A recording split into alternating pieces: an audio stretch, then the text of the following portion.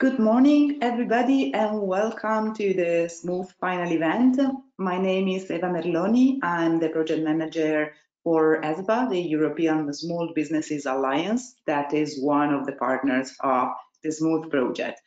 Uh, we have a great program for you today, ladies and gentlemen, but first of all, let me just give you some information uh, I'd like to remind you that uh, this conference will be recorded and uploaded on the YouTube channel of the project after the event. And if you have any comments or question, please use the chat of the uh, GoToWebinar and we will try to respond in real time. Uh, however, if you don't receive an immediate reply, don't worry, we are going to collect all the questions and then to upload a document with all the replies on our website. Uh, I think it's time to start and now I would like to welcome the panelists of the opening session of this conference that will give us an introduction to the project and on the importance of GDPR for small and micro enterprises. Uh, first of all, I'm glad to introduce to you Rosa Maria Araujo Ribeiro, the project coordinator of Smooth. Uh, Rosa is a senior project expert on European co-funded project of Eurecat, the technology center of Catalonia that brings together public research body, university and companies she has dealt with many projects related to a wide range of technological domains, such as energy and resources, e-health, new material and processes, and digital technology. And she is currently the project coordinator of Smooth, founded by EU program Horizon 2020. And right after Rosa, we will leave the floor to David Caro, which is the president of the European Small Businesses Alliance a non-party political European group representing small businesses and self-employed with a strong network of connection within European institutions and small micro enterprises.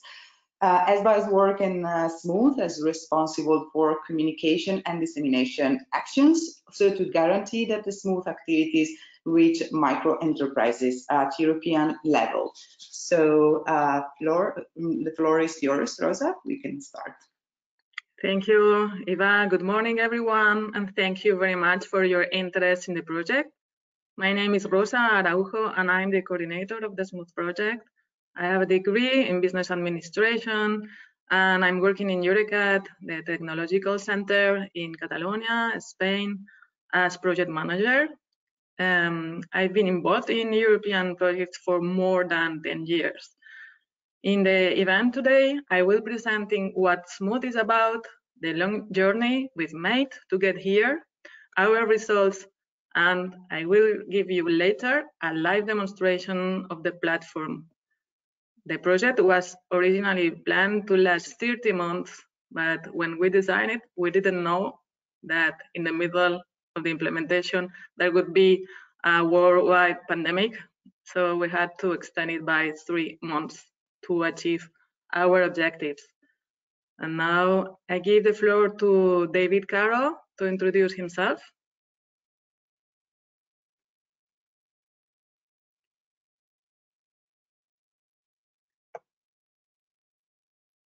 David, David, you have to unmute yourself. You're mute. My apologies for that. Uh, according to the last official available 2015 data, Almost 93% of all enterprises in Europe in the non-financial business sector have less than 10 employees. These micro enterprises are responsible for 30% and 21% of the overall employment and value added in the EU respectively. However, when we refer to the general data protection regulation requirements, micro enterprises are the most vulnerable due to their lack of expertise and resources to invest in its adoption. We at ESBA, the European Small Business Alliance, are a non-party political group who care for small business entrepreneurs and self-employed and represent them through targeted EU advocacy and profiling activities. Representing almost 1 million small businesses and all around Europe, our mission is to listen to their needs and to provide them with new and innovative tools for their daily business activities. That's why we decided to take part in the Smooth project. Smooth has developed solutions that assist our micro enterprises in smoothly adopting GDPR, safeguarding the interests of EU citizens on data privacy and security, and avoiding the negative socio-economic consequences that result from breaches uh, of the data regulations. The entry into force of GDPR has transformed the interactions between users and the websites they browse. Companies need to incorporate new regulations, professionals, and specific tools into their existing governance and business plans. Future years will probably observe the surge of more innovative businesses committed to creating trusted, profitable, data-driven systems with clear benefits in transparency. But for the time being, small businesses need to start this process with proper tools. Being GDPR compliant is necessary for any companies that are dealing with personal data, be it from customers, employees, and suppliers. Therefore, its benefits are clear cut in terms of being law abiding. Along with that, there is also some benefits that might be very valuable for our small businesses. For instance, the chance to cut costs of storing data, legacy applications, and inventory software. The release from data maintenance expenses, whose funding can be redirected to, for example, innovation resources and infrastructure management. Reinforcing a business's reputation by showing to customers a reliable data governance system. I'm quite sure that all the instruments that Smooth project has developed, such as the Smooth Handbook and the Smooth Platform, will help all European micro enterprises, ESBA members or not, in reaching all these benefits. I will leave the explanations of details to the following speakers, who I'm sure will help you understand better what Smooth has to offer. But I will take advantage of this opportunity to highlight one of the last activities of the Smooth project. It is the market pilot, which is open to all micro enterprises at European level, and to which I strongly urge you to take the chance to participate. With just a few clicks, you can be there the market pilot will give you tailored support for your man uh, data management. It's a valuable and free of charge chance for small businesses across Europe to quickly test if their data storage and management is GDPR compliant. You can find the market pilot on the Smooth website. Keep in mind that it will end on the 29th of January. We are all here attending the final conference of Smooth. All project activities have been finalized but all the tools that have been developed remain accessible on the Smooth website. From our side, ESBA will continue in pushing these instruments along among our members because we strongly believe in the benefits to be gained from their use. I would like to express my thanks for this opportunity. It has been a pleasure for myself and ESBA to be part of this project, and I now leave the floor to all other speakers. Thank you for joining us today, and I now hand back to Eva. Thank you very much, David and uh, Rosa, for this uh, introductory speech that gave us a first uh, overview about the topic of the project, that is GDPR. Uh, but now let me share with you some pills produced by the Smooth project, uh, starting with an introductory video um, to um, that explain the GDPR regulation in a nutshell, answering the question that everybody asks, what is personal data? So let's see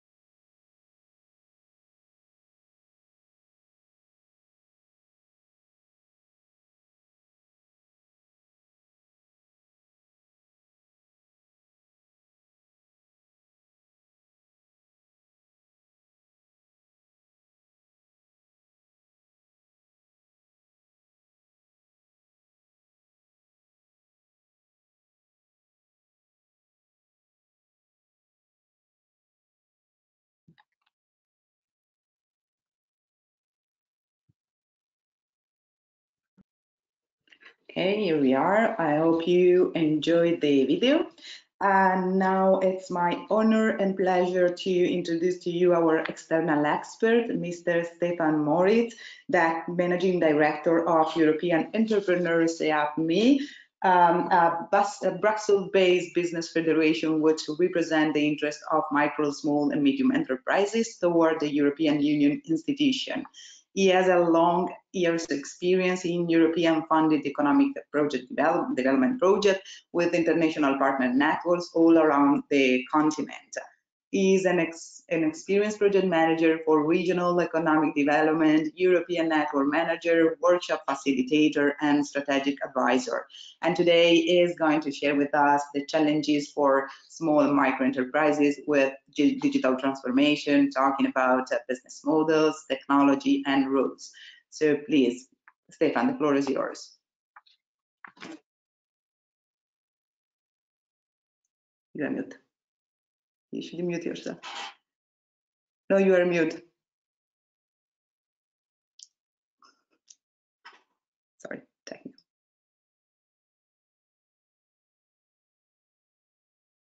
No, no, no.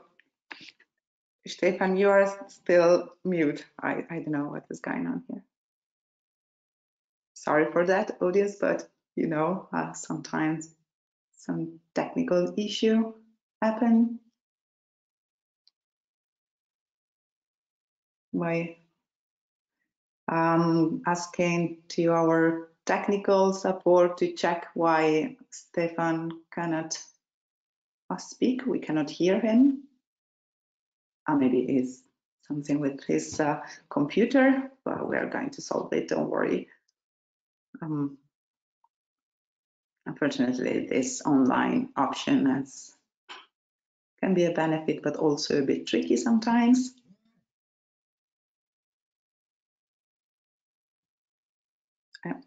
No. Hallo, können Sie mich hören? Can you hear me? Okay, now, now we can hear you. Yeah. Okay. Uh, strangely, I was uh, it worked before, but now it is, uh, don't work anymore. Doesn't work anymore. So, can you see my screen? Hello. Yes, we can. Yes, yes. Okay. Okay, then I put it on uh, full screen. Um, yeah, uh, I was invited to um, present today a little bit also the um, our experience as a another business uh, support organization uh, similar as ESBA. By the way, we are uh, reciprocally associated um, because ESBA is focusing on the micro enterprises, which is also our interest because 99% of the enterprises are uh, small businesses. We also, let's say, support uh, also the medium-sized enterprises up to 250 uh, employees. Um, our confederation uh, has run um, a project uh, which has taught us some interesting lessons, which are also important to understand the uh, importance of the Smooth project to cope with the general data protection regulation of the European Union.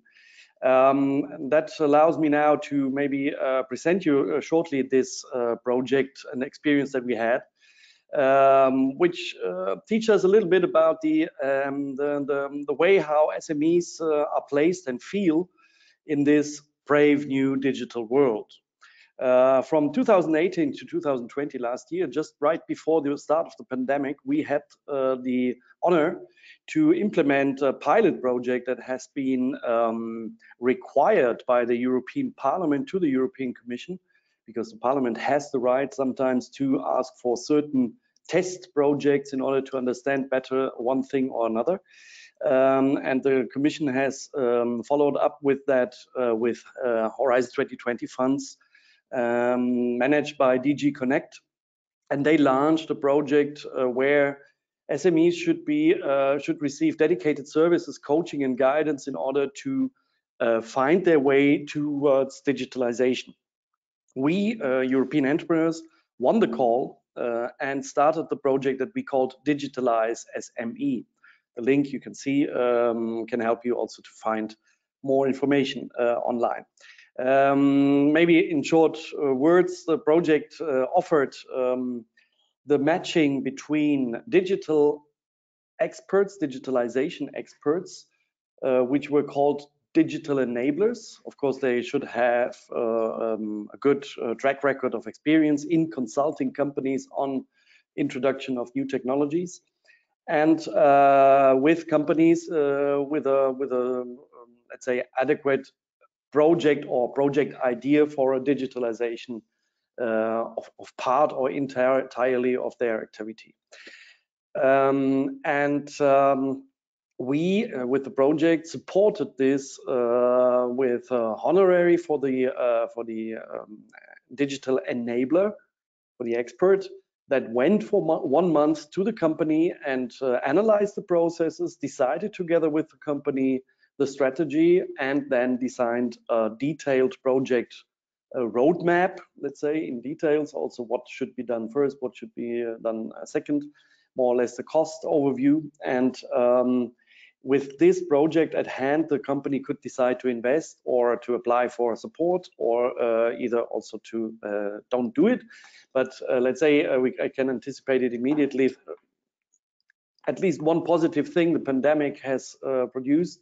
The companies then in 2020, uh, in a large majority, started to invest in these solutions because they had um, not only time but a, a desperate need uh, in um, changing their business models and go forward with uh, new uh, technologies and new sales channels, new find new clients and open up to new markets. So um, the project itself uh, was also evaluated, monitored continuously, and uh, we had now that gave us the possibility to, better understand the challenges that SMEs were facing with digitalization, and that first of all told us that um, it is absolutely not a matter of certain technologies. I don't know, data-driven processes, 3D printing, AI, clouded supercomputing, photonics, and, and so on. But it is, first of all, a matter of business models. SMEs can change business models um, only when they really understand that um, they can earn more, can produce better, faster and uh, deliver to their clients at a better price, um, preferably, or at least, let's say, at the same level of their uh, as their competitors. Um, but uh, just uh, buying a new technology and introducing it uh, without having a clear idea of what kind of business model comes behind it um, is absolutely a great risk for a small company because it could um, decide about life or death of that company. A big company can maybe make test projects and uh, run uh, even with millions of uh, euro a small um, trial and see how it works. And then they can close down these company parts or open up new ones. An SME is such a company part and is even a, a much less uh, bigger um, company part and risks really much if they change their business model. Often these new technologies then require new skills. The employees and the entrepreneurs, uh, her or himself, have to um, learn new know-how and then also to set up new internal organization, find new clients and learn new rules to access these markets. And one of, one of which is GDPR. Let's see a little bit how we um, how we met GDPR as SMEs in May 2018 when the European when it entered into force. It has to be said, GDPR has been uh, approved in 2016 already, and it uh, was decided to leave a two years of time to adapt uh, before the uh, the entering into force. But yes, unfortunately, in these um, these times when this time was not used um, well, let's say. So in June 2018, the European SMEs were mainly already under pressure from big competitors that already dominated large market shares with new technologies, particularly the big platforms, which were data driven, and uh, IT producers that obliged SMEs to adapt more and more to new technologies. They were not enough skill fit with the new technologies and digital uh, technologies, and um, the, they were looking desperately for new stuff or to adapt their own competences. The strategic growth and orientation gap also caused by the question what to choose now to remain fit also in five years when maybe the technologies have already changed again um, caused indecision, uncertainty, and uh, high risk um, need to, to take risks. Yeah. So then in, that, in addition to that, they were also uh, in the need to, to search for new clients um, with new business ideas because their traditional clients uh, were step by step turning away from them because other new competitors on the market, especially those that were more digitalized, were on the on the on the field. That was also the reason why already at that time and even before we uh, were saying to our uh, fellow companies always try to start immediately with digitalization because in five years time you you will be out of the market. And that is only let's say because another competitor has done a little bit more than you and has a, a little bit better price and a little bit better access to markets. Uh, and yeah then in may we had on top of that also the entrance into force of gdpr a set of rules that um, regarded exactly the, the most important good of this new economy data regulating its access to it and its use. And the uh, and the big players that were already on the market and had already um, strong power on the market had profited exactly before uh, from the situation of low or let's say competing regulations because um, they also used the competing regulations. I mean, one country had a less had a lower data protection law, and another one had a higher one. So they went to uh, open their seat, uh, for example, in Europe, in one country and not in another. And that was um, uh, unfair competition in the single market, so uh, also a unified European set of rules for um, data protection would have been absolutely necessary, especially to protect these uh, personal information, as the video said before, of the European consumers. Um, GDPR and digitalization then from 2018 to 2020, um, GDPR threatened directly heavy sanctions on the uh, companies which would not comply with it. And um, these sanctions could be enforced directly by the EU Commission. That was uh, also a little bit, let's say, new to uh, many of us because um, normally there was a kind of a national intermediation trying to understand better, let's say, the situation in one country and another. Um, and uh, unfortunately, um, that was uh, the, the, the, idea behind that was another one, but um, it affected uh, also many of uh, our companies, uh, and they were confused about this possibility of the Commission to uh, enforce directly. And the national agencies also added up much more confusion. I can tell, for example, I'm German. In Germany, we have 16 um, states, Länder, which each one has its own constitution and it's had its own um, data protection law. Uh, and uh, with that, also a uh, uh, um, an agency for each region, land, um, which could enforce this uh, data protection rules. Uh, and these agencies were giving contradictory interpretations of GDPR when it came out. And that was absolutely absurd because the companies were looking for certainty. Uh, there was also, um, let's say, the, the, the, usual horror industry of lawyers which were offering services that if you don't buy their services, you will get uh, lost because of uh, stupid new European rules. That was more or less the, the narrative with which they sell their services. And um, so they were, uh, companies were also threatened, let's say, or frightened that there would be uh, heavy sanctions. But in truth, these heavy sanctions were thought for the big players mainly, uh, not for the 23 million of small medium-sized enterprises in Europe. And GDPR had, of course, big advantages. It created a big market for 500 million consumers, um, which uh, could, uh, not, which was also uh, one set of rules valid for all companies on the continent. So not anymore that uh, if you had a, comp a, company that you wanted to sell services uh, in Estonia, Latvia, and Lit uh, Lithuania, and in each one of them uh, they have another different law, uh, but one valid for everybody. And um, this allowed not only to uh, unify and um, let's say prevent unfair competition, but also to set international standards, which couldn't be easily circumnavigated by GAFA, uh, Google, Amazon, Facebook, uh, Apple, um, but also was taken over by others. Japan, for example, simply copied the European GDPR regulation into a national law. without critical um, or changes. And they said, yeah, that's easy because when 28 member states of the European Union have discussed so long and they decided to set one set of rule, and this is 500 million consumers to which we want to sell, we um, are okay with it to simply adapt to that. And others uh, followed. Uh, the central, central problem of GDPR in truth was that the rules targeted particularly the, to limit the market power of the big players and the Commission uh, to directly act against them uh, if necessary. But that created heavy uncertainties among the 24 million SMEs in Europe, which were still not ready to get the necessary step forward.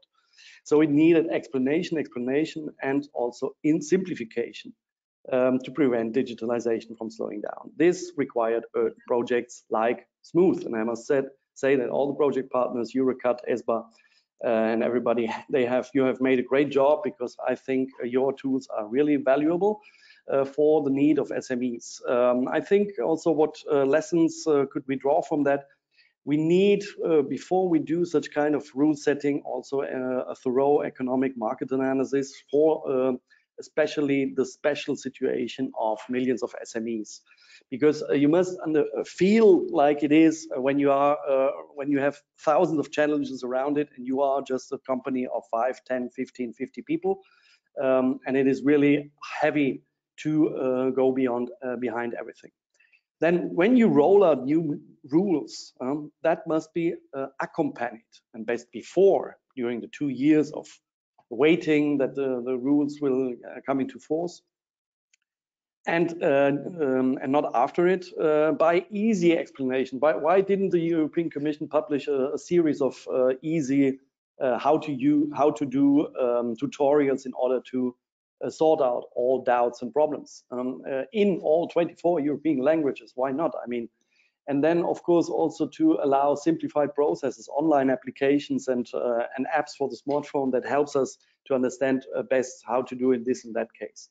Um, and this is what uh, Smooth offers. That's a great thing. Um, and of course, if we would have been involved um, from the beginning, it would have been easier to uh, prevent this kind of problems, especially if the Commission would involve um, business support organizations like ESBA and European entrepreneurs, because we are voluntarily associated organizations, so we don't have uh, obligatory membership like chambers and the companies trust us and we can better mediate and obtain a better understanding from our members. So to cope with uh, complex processes like adapting rules uh, while the companies have um, feel to that they lose their clients, search for a new strategy, have to invest into new technologies, reorganize and train their staff. That requires really a dedicated individual coaching and guidance. That was a central lesson from Digitalize SME. The companies really appreciated 95% of approval, the fact that the digital enablers came to them and helped them and told them you can do this or that, and but this is more convenient and that is not. Uh, and these uh, enablers didn't come from Amazon or Apple or Google or whatever and did uh, try to sell them their products, but they were uh, independent and neutral to that uh, um, technologies. They really appreciated that, and with that at hand now in uh, 2020, when the pandemic came, when the situation became desperate, then uh, many decided to invest. Technology is, is never the focus in itself, the business is it. So how to earn more money or um, save money or to um, earn more clients and open up more markets. That, that means that also R&D must be SME and business focus driven, not research program driven. That means it should not be universities to write the R&D programs alone. At least there should be um, sub parts of the programs that should be driven, uh, written by SME and business um, organizations, which can, let's say, interpret better the needs. And that regards also the agendas that must be set differently, included the setting of rules like GDPR which should uh, take into account the certain situation, the, precise situation, the economic market situation, and uh, the, um, the conditions that the SMEs are facing.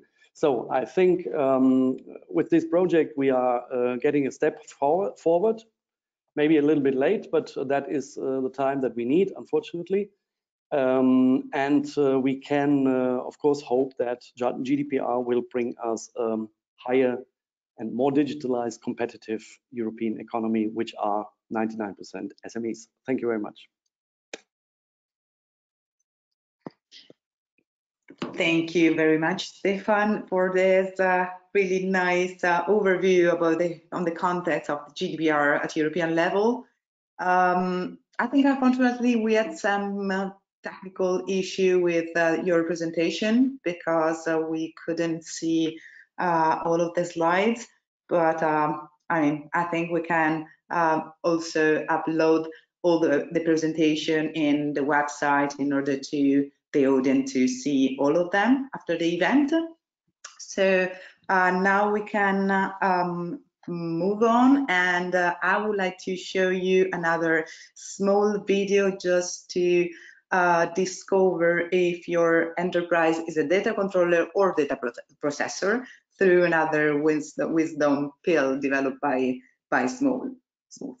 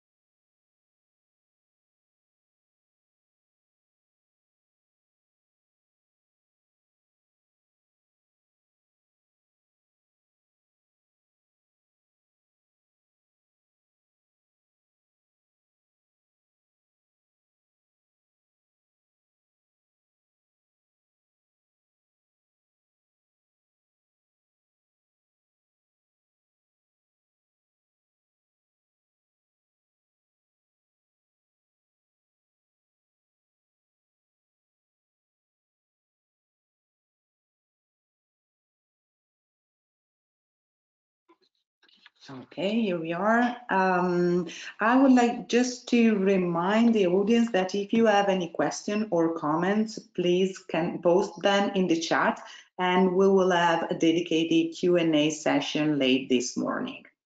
So we can move to the uh, next session and I'm glad to introduce to you the next panelist, Evija Jakovic which is a researcher and project manager at the Latvian Institute of International Affairs. Her professional experience is related to international relations and policy analysis, and she has been, has been responsible for exploiting the Smooth platform in a free service model for the Data State Inspectorate of Latvia. Evija is also a micro-entrepreneur with the project Lost in Latgale Kayaking in Latvia, pronounce it well. Uh, Evija is going to share with us the impact of GDPR on micro enterprises, the case of Latvia. So uh, please, the floor is yours. Okay. Uh, thank you. I hope you hear me well. And I hope that you see my screen. Perfect.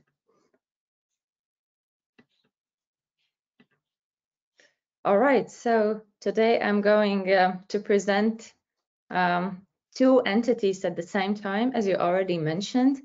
Data State uh, Inspectorate of Latvia, which is the main data protection authority in the country, and at the same time, community of small businesses in Latvia, as I'm a micro entrepreneur myself with my kayaking project called Lost in Latgale. And here is what I'm going to talk about in my presentation today. Firstly, I'll touch upon the reactions of uh, entrepreneurs in Latvia to introduction of GDPR. Then I will briefly tell you about the steps and measures taken by Data State and Inspectorate to help. Uh, then I'll share some insights from my colleagues' daily routine consulting um, people, including entrepreneurs.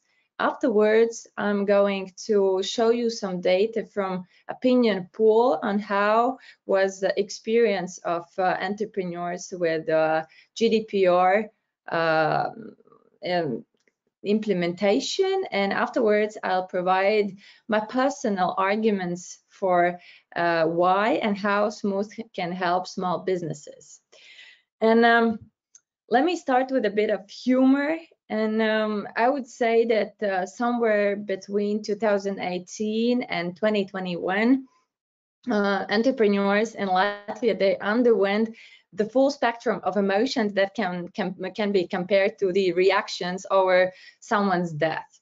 So somewhere in 2018, uh, in May, uh, we experienced stage one, which was um, chaos, anger, and denial. Nobody really understood what is GDPR, what is it about, and um, uh, how it really applies to, to my specific uh, um, enterprise.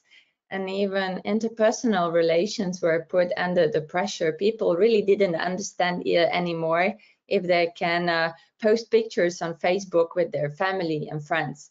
So it was really confusing. Then um, stage two entered and people, um, entrepreneurs, they started to uh, seek for easy and quick solutions. And uh, the most convenient one for big enterprises was um, hiring data protection uh, specialists. And uh, all of a sudden, it became increasingly popular uh, profession. And uh, even um, number of issued licenses uh, increased according to data state inspectorate uh, statistics. Uh, while um, in the stage two, medium-sized entrepreneurs, they tried to uh, rearrange duties among already uh, hired staff and uh, designate someone to be responsible for GDPR issues, so poor people, while uh, micro entrepreneurs, they at first they simply try to ignore the issue, and only some uh, try to solve uh, um, related aspects with GDPR uh, themselves. Then uh, by stage three, it became clear that GDPR um, actually requires a lot of uh, changes and um, poses a lot of commitments for entrepreneurs and um, it was clear that a single person cannot deal with this all, including such things as data protection, uh, impact assessment, privacy policies, cookie policies, etc.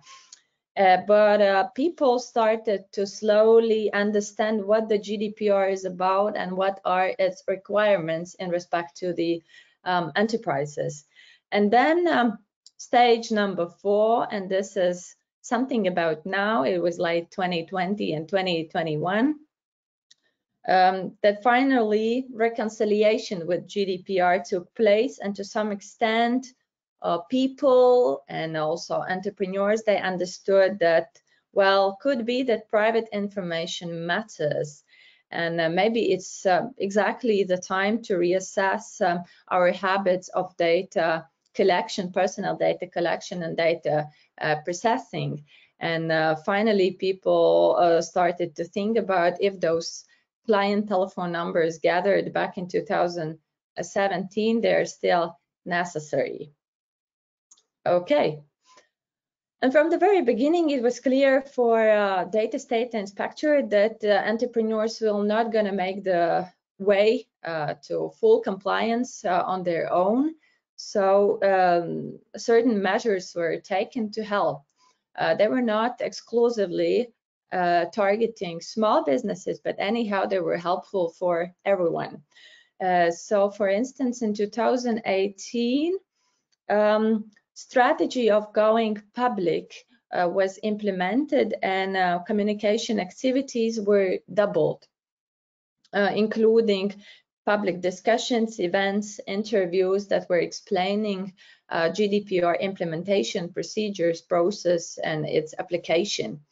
Uh, then also Data State Inspectorate uh, uploaded uh, numbers of um, uh, templates and, um, and informative materials to the homepage. Among them, for instance, this is impact assessment template, incident registration form, also seminar materials on uh, GDPR implementation, etc. And um, Data State Inspectorate got involved in um, two uh, projects uh, that were um, that were targeting uh, small businesses and uh, trying to educate them and help them. So one is uh, Smooth that we are presenting today. Another one is about um, educative activities taking place across the country and targeting uh, businesses. And finally, also the daily telephone consultation hotline was um, launched um, to consult about um, existing uh, issues on GDPR. And um, now here are some insights from uh, from those uh, consultations. And please do not treat the, the data as objective statistics, but these are rather subjective personal observation of my uh, colleagues. So um, it could be that more than half of all consultations on GDPR are held by data state inspectorate um, are held with uh, uh, small and medium-sized um, uh, entrepreneurs. Um, and interestingly, that uh, entrepreneurs from less developed areas of country, they somehow tend to um, either exaggerate um, uh, GDPR application or fully ignore it. So they're more extreme in understanding uh, GDPR.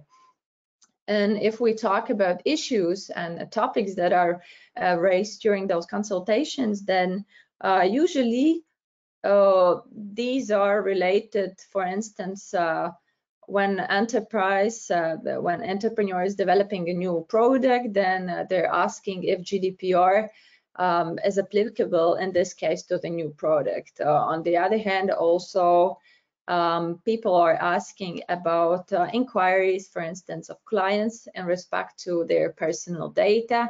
Then also entrepreneurs are consulting about um, uh, administrative things such as um, elaboration of uh, documents, uh, cookie policies, privacy policies, etc. And of course, also other issues. Um, um, and now I would like to share some um, interesting insights from opinion poll um, uh, by the by the data state uh, inspectorate in 2019. So Inspectorate hired a polling company uh, to question entrepreneurs in Latvia about their so far experience with GDPR implementation. So keep in mind, it's a it's a July of uh, 2019. So by the time um, most of entrepreneurs, uh, they were aware, they had heard of GDPR.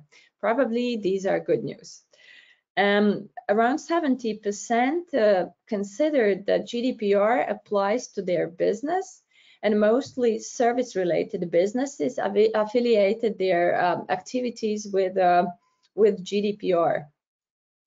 Uh, while mm, about half of uh, all um, questioned entrepreneurs, they still said that, well, most likely they're not working with personal data uh, in their business area, which uh, makes at least me to think uh, that, that still it was not clear uh, what exactly personal data is and which areas of uh, daily activities uh, they include.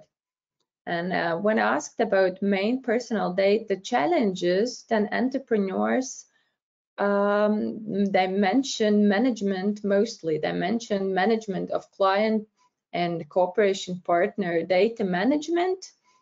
Uh, other sections were more fragmented and only few of entrepreneurs mentioned them.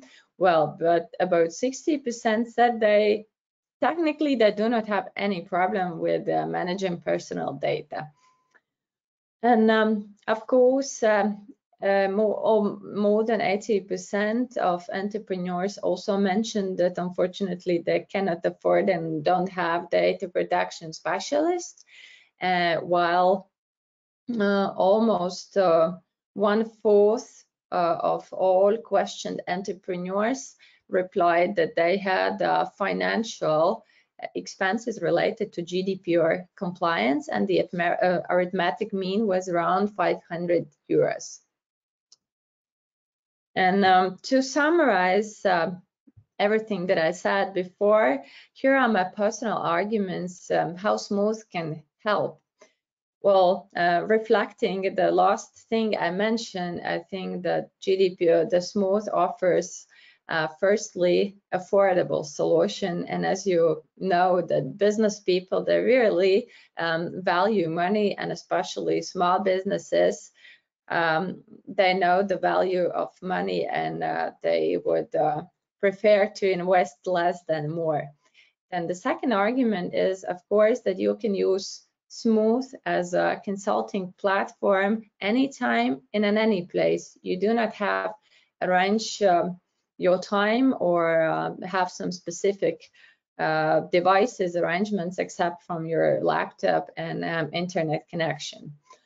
And uh, thirdly, and this is very important, especially uh, maybe in reference to the thing that I was mentioning about uh, treating GDPR uh, very radically one way or another way in rural areas, then GDP uh, Smooth is uh, talking with entrepreneurs in their language. So there, it's approaching entrepreneurs in attractive, concise, and um, understandable manner.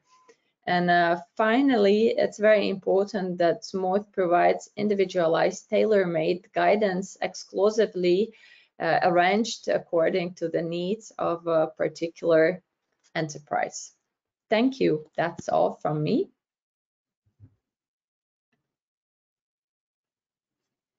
Thank you very much, Evija, for this uh, really inspiring speech. Uh, at least uh, you gave the audience a, a concrete um, example of a real case of Latvia with uh, some uh, really nice data to, I mean, we should, we could have a discussion on that afterwards.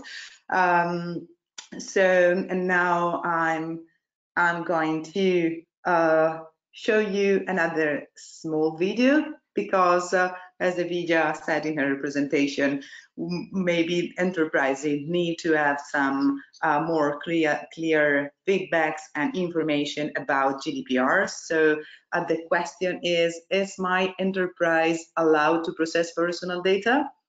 Follow the video and discover the answer.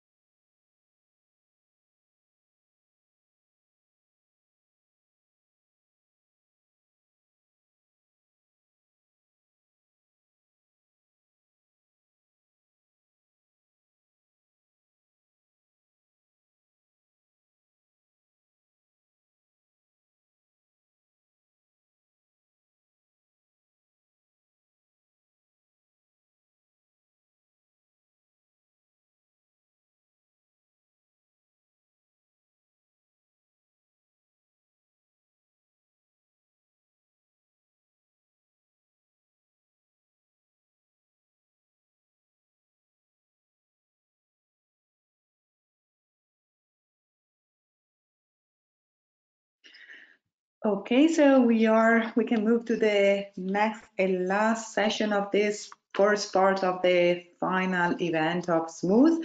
So I would like to invite uh, to the floor uh, Rosa, the project coordinator, that she's going to uh, talk about uh, GDPR and micro enterprises and MENTs, the legacy of Smooth. So Rosa, please, the floor is yours.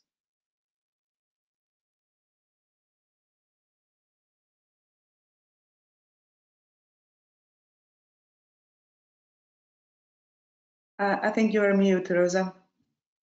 Ah, thank you. You can see my presentation, right? Yeah, okay, thank you. Well, let me see.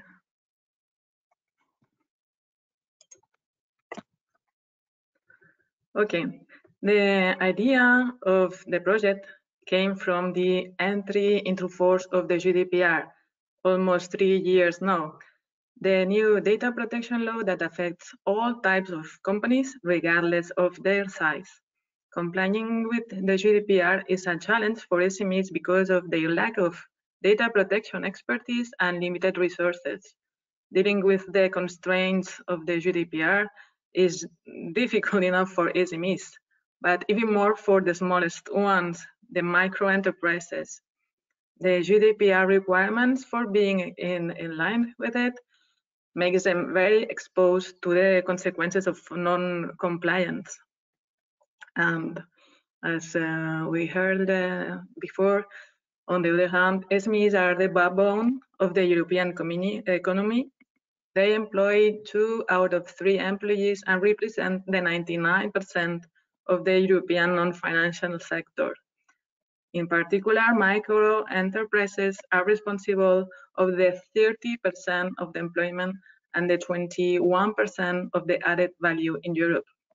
The fact that the GDPR applies to all types of companies, regardless of their size, is particularly problematic for micro enterprises.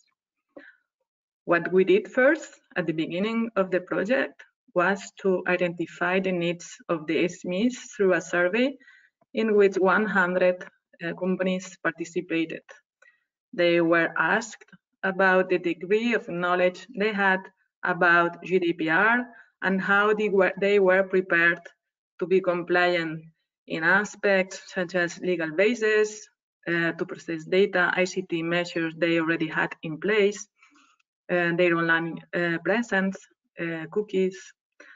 And from the results and feedback received, what uh, we found was that, for example, regarding legal basis relied, 12% never relied on consent for processing and storing personal data.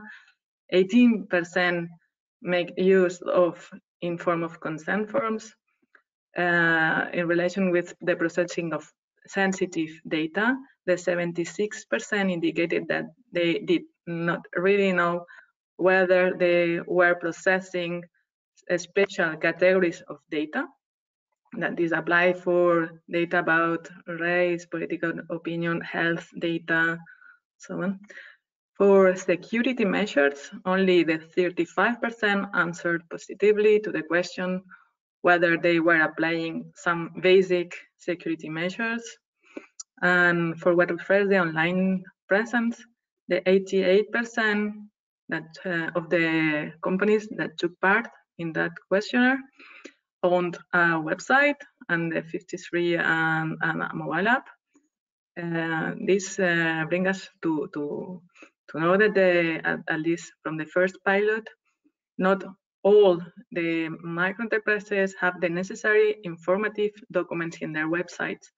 For example, terms of use were used by the 74% of the respondents and privacy policies only by the 65 cookie policies, for example, the 53. There is a great lack of previous education about GDPR, and many of the companies have no digital background or legal knowledge.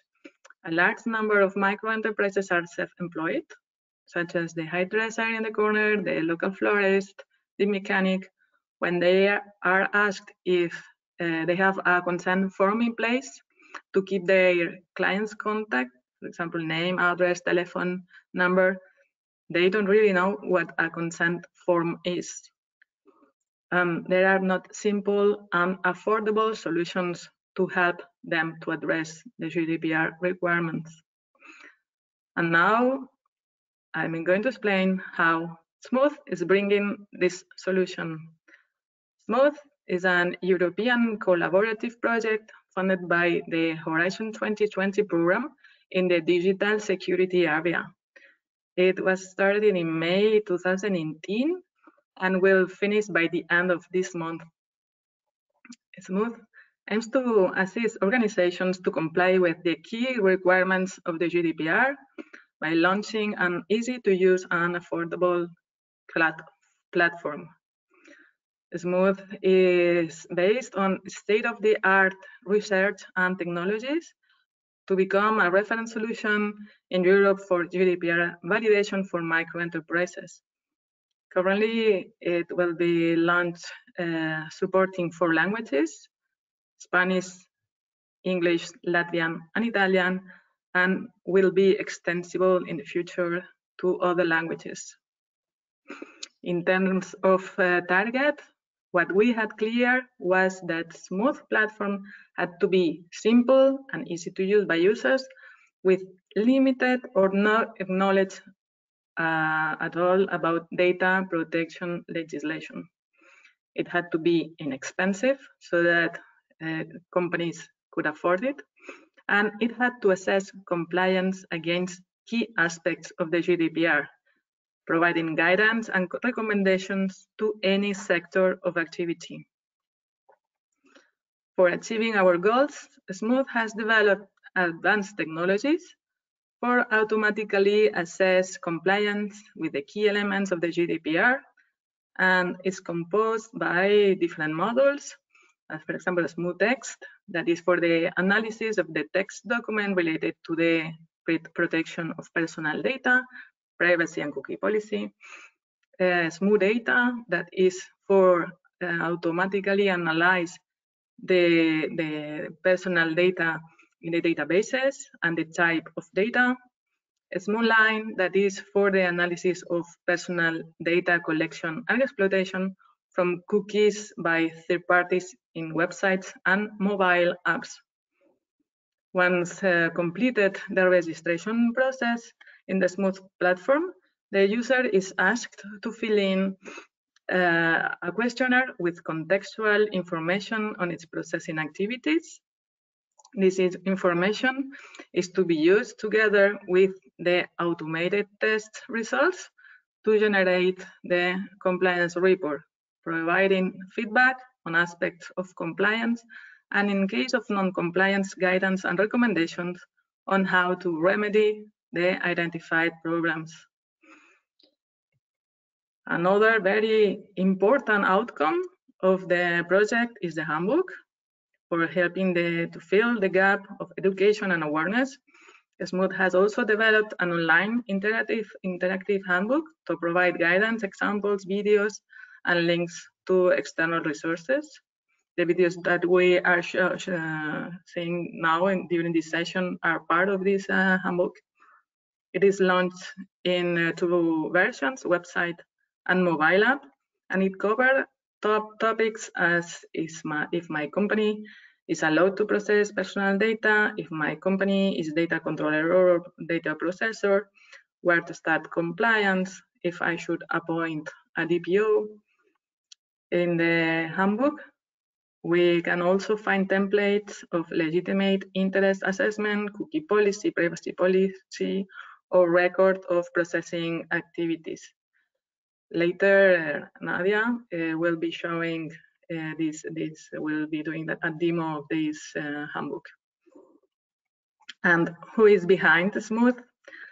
As legal partners, we have Q11 and the Latvian Data Protection Agency. We had also the Spanish uh, Data Protection Agency in the requirements phase, and the Italian uh, Data Protection Agency forms part of the advisory board. As SME representatives, company representatives, we count with the presence of ESBA, the European Small Business Association, and also FundingBox. For technical partners, we have UC3M, IMDEA, and LSTech for the website module, website and mobile module, and Naver Eurecat for the text module, and again, uh, Eurecat and NEC for the data analysis module. UNE is part of the consortium and is a standardization body that has led us to present and then work, workshop agreement, the European Committee for Standardization. Uh, we have done a kind of foreplay of what later can be a standard with one of the results of the project. It will be the GDPR guideline for micro enterprises, useful not only for micro enterprises, but also for companies providing consultancy services. It takes the basis of the work done by Q11 during the project and uh, will detail the principles to have into account with uh, technical and organizational measures to be implemented. It will be published by April this year. Um, thank you very much. Uh, here, finish this presentation. I give back the floor to, to you. for the following speaker. Thank you very much, Rosa. This was a clear picture of uh, the Smooth project. And um, um, thank you. We are perfectly on time, so we can now take a break, have a 15 minute coffee break. So uh, take some rest, have a good coffee. See you here back uh, at 10.45 with the last part of uh, the Smooth last uh, final event. Okay, see you in a while.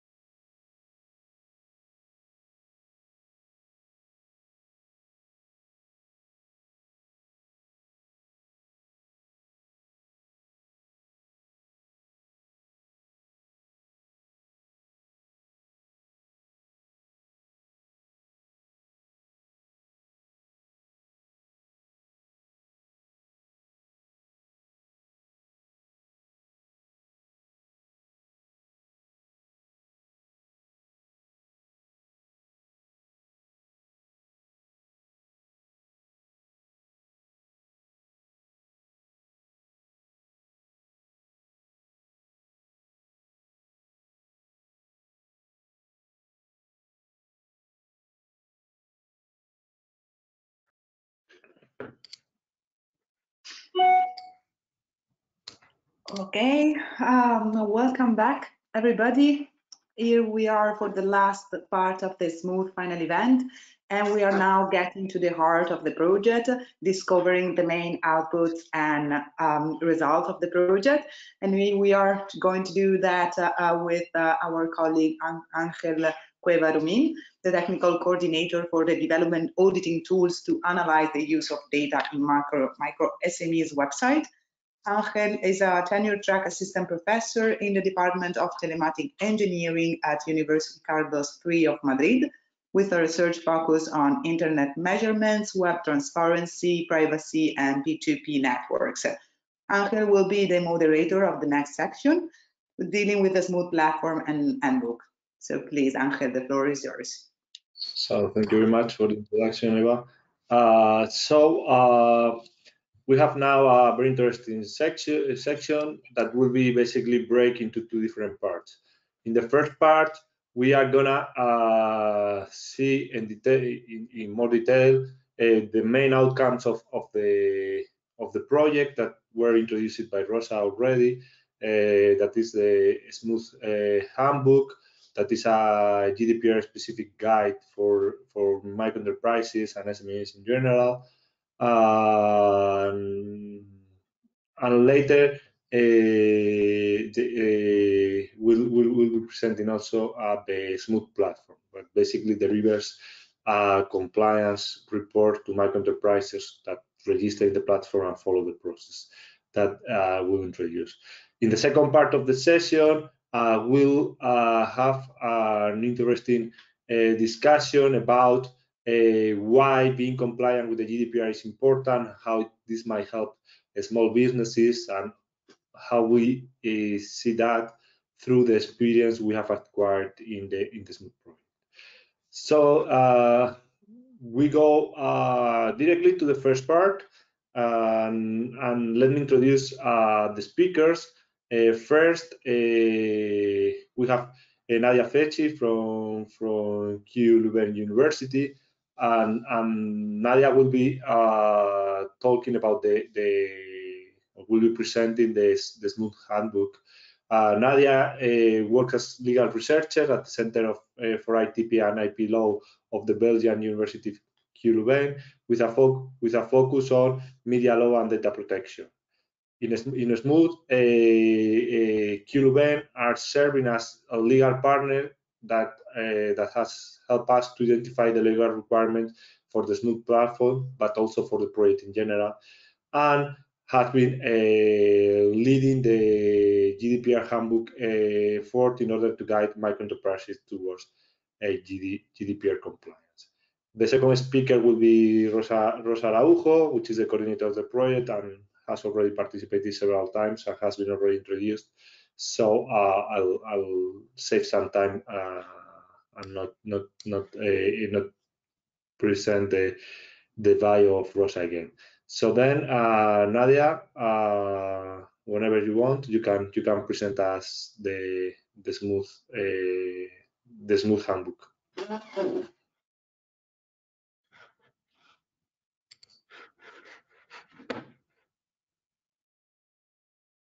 Yeah.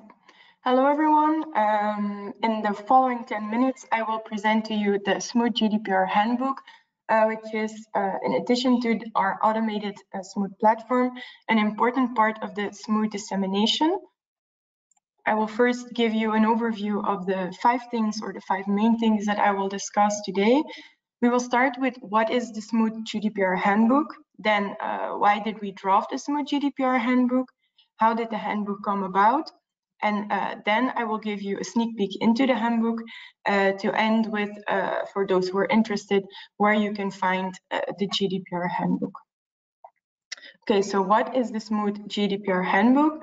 Uh, the handbook introduces the GDPR in an accessible and practical manner that is specifically tailored to small companies and actually to micro enterprises even. Uh, unfortunately, for micro enterprises, the fact that you have a small business uh, does not free you from GDPR obligations. This is because the GDPR is based on uh, a risk level and not on your size. So a small business can still be risky from a data protection point of view. For example, if you have a lot of health data, uh, you will probably be a more risky uh, company. Nevertheless, uh, the handbook focuses only on those aspects of the GDPR which are most important for micro enterprises and which we think that they will need most help with. Uh, the handbook is implemented in both a website form and an application, uh, which are to serve as a guide regarding questions such as what is the GDPR, why is the GDPR important, how does it affect my business, uh, but most importantly, it sheds light on what needs to be done uh, to become GDPR compliant.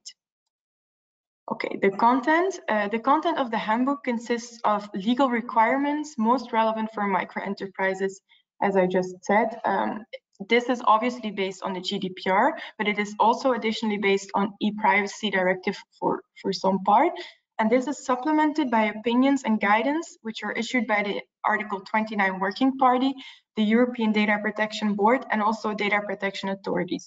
So um, from uh, from the experience of the initial two data protection authorities that participate to the project, we know that small organizations mainly carry out low risk data processing, so uh, that we used as as a basis, and uh, therefore the purpose of Smooth. Uh, for the purposes of Smooth, we have mainly focused on uh, such low risk data processing. Um, the content of the handbook is not only delivered through text, but we also uh, designed infographics and videos. Uh, these videos you've already seen a few of. Uh, we included templates and checklists for GDPR compliance. So uh, here you should think of uh, a template to uh, assess your legitimate interest uh, all the steps that you can take there. We have examples of uh, good cookie policies and privacy policies, but also we have uh, useful links to other resources which could be helpful, also external resources. We have a glossary, and finally, uh, we make use of plenty of examples. Uh, let's go to the next slide. So yeah, here you see uh, an example. We chose to use quite a few of these because we noticed that companies really like examples. It really helps them understand certain rules better. So we decided to give them all a uniform layout so that uh, you can easily spot examples in the content. Next, uh, we uh, look at the characteristics or the main characteristics of the handbook. Um, the handbook was written specifically with micro enterprises uh, and other small companies in mind. Uh, it is written in English, but we are now also finalizing uh, the translation into Latvian. Uh, translation into other languages is possible. We are still looking into that. There are no real uh, concrete plans at the moment. What is important to know is that the handbook is free and it is publicly available. Uh, the language we use in the handbook, uh, we deliberately chose to write it in an accessible and an intelligible manner so that people who have no legal background or a limited legal background or no data protection background, that they are able to understand it. And then finally, uh, the handbook has some interactive elements such as a quiz to test your GDPR knowledge. Smooth community feeds are added to the handbook from Twitter and the FundingBox platform. And we also make use of flowcharts uh, here and there. That brings us to why we decided to uh, write a GDPR handbook. Well, the handbook is rooted in the fact that micro enterprises usually have limited means and uh, in-house GDPR knowledge, which makes uh, compliance extremely burdensome for small companies and even sometimes impossible.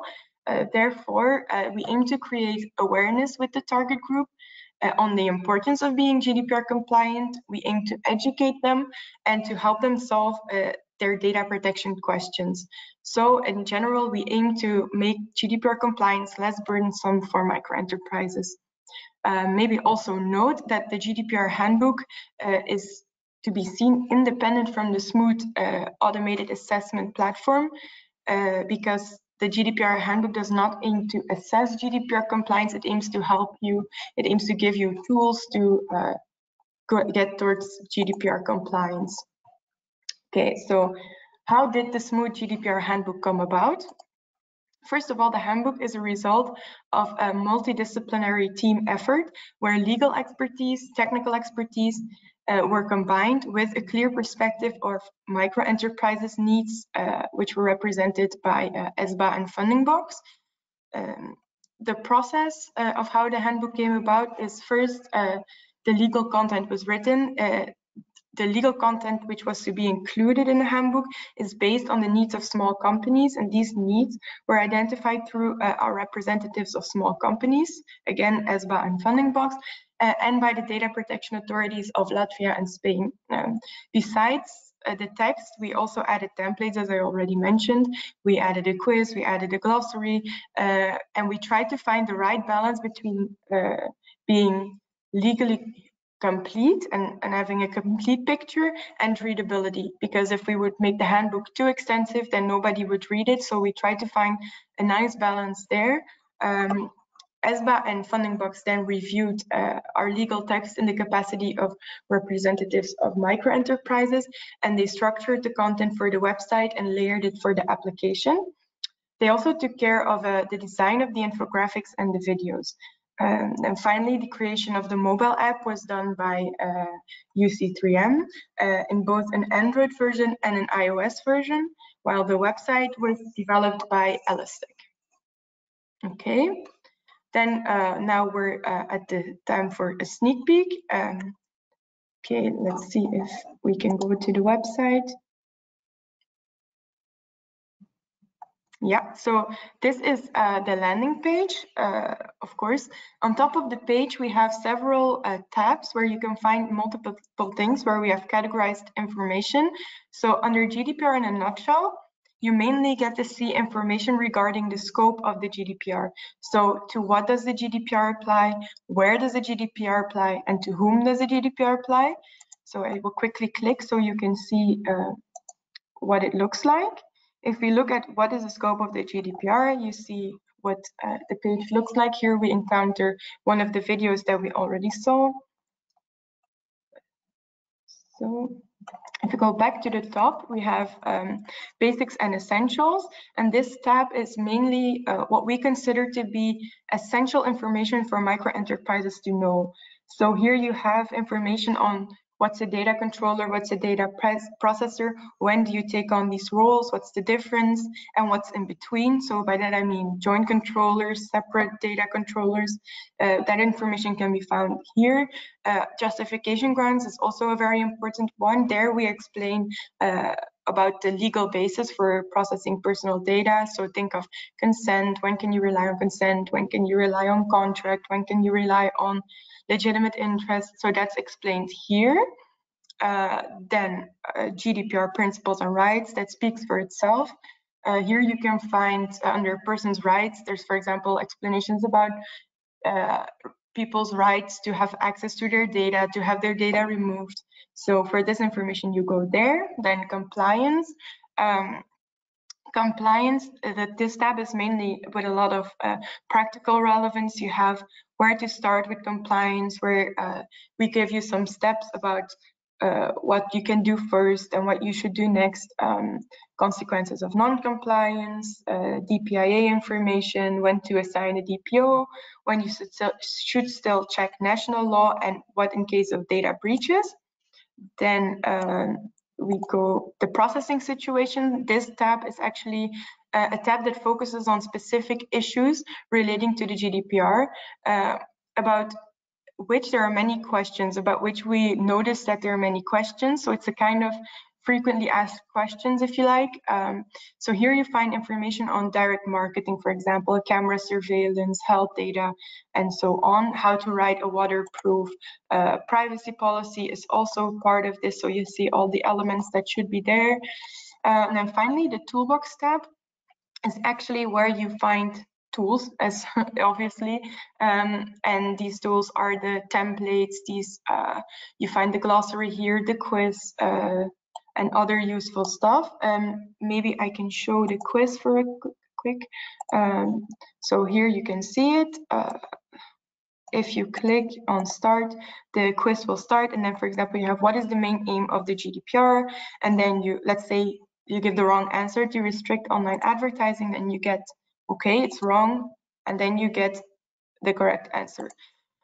Okay, um, on the right top corner of the website, you see an, an icon with uh, all kinds of different flags.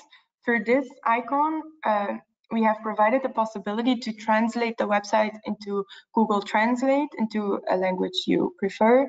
And we also link to uh, the website of the European Data Protection Board because there you can find useful material, GDPR related material in other languages.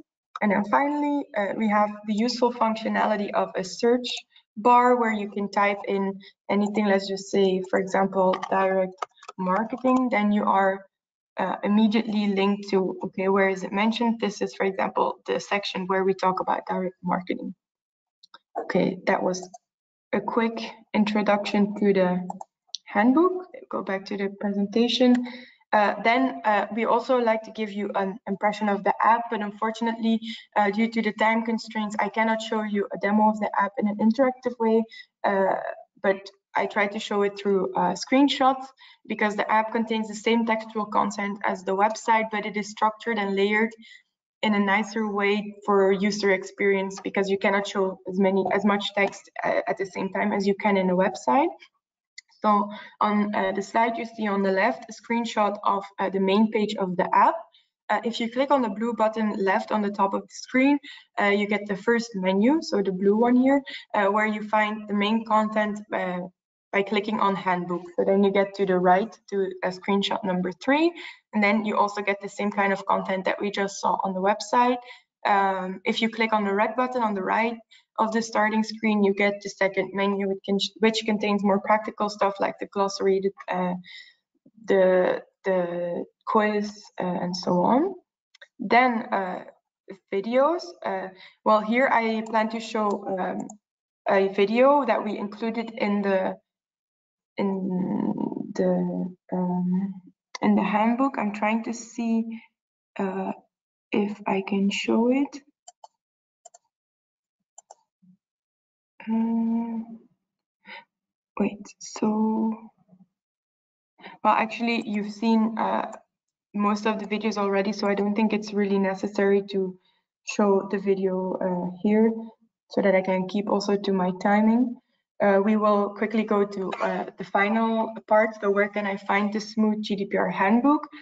Um, yeah, so uh, the website can be accessed through the link you see here on the slide, uh, and the app can be downloaded in app stores, both in Android and in iOS version. Um, so yeah, that's uh, the presentation, a brief presentation of our Smooth GDPR handbook. Uh, thank you all for listening, uh, and we hope that it can be of great use to many of you. Uh, so now I would like to pass the word to Rosa, who will talk about the Smooth platform.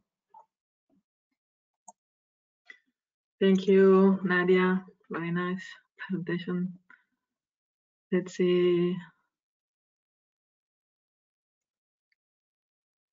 No, this is not the one I wanted to show. No.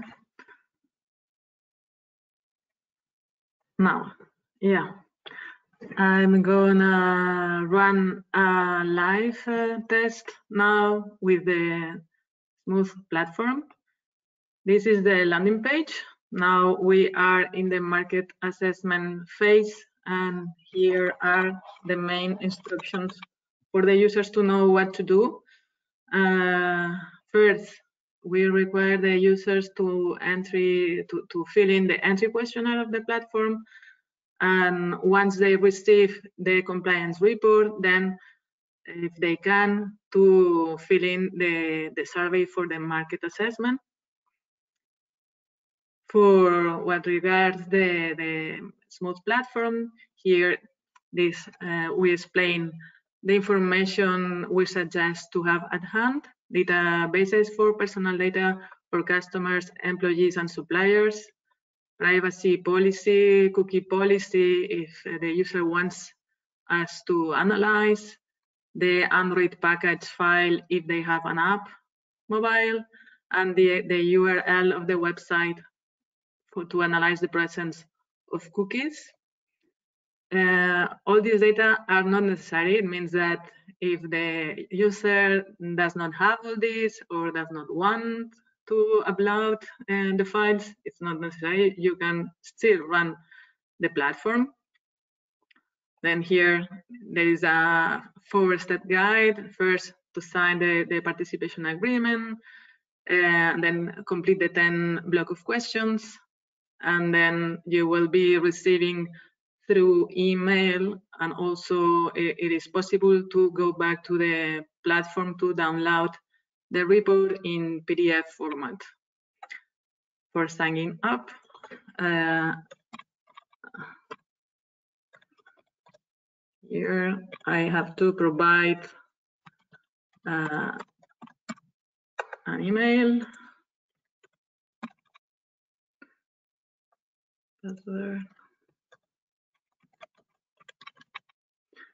company name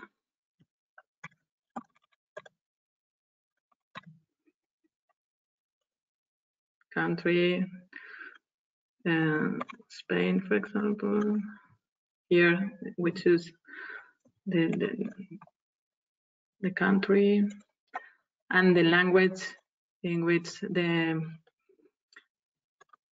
the, the company uh, operates. Okay, username.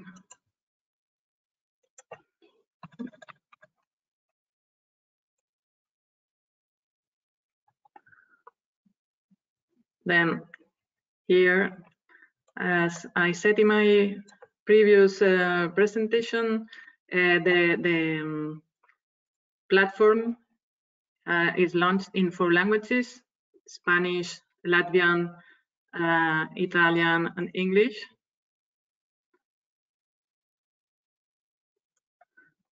Here I can choose the, the, the language if I go here, I have first to read the participation agreement. This is a quite long document for us to be also compliant with the GDPR. Here's are, here are the, all the terms of use of this platform. We explain where what we do with the with the data. Of course, we delete all the data databases and files once we generate the, the report it is once uh, we reach the end of the of this document when we can click the accept button and then I can start the test. Here we have 10 blocks of questions uh, for the contextual information regarding the processing activities of the company. The first one is for the general business information. Here we have, for example, where does my company operate within Europe, in which country. Okay, aquí, uh, here I can put the country. Yeah.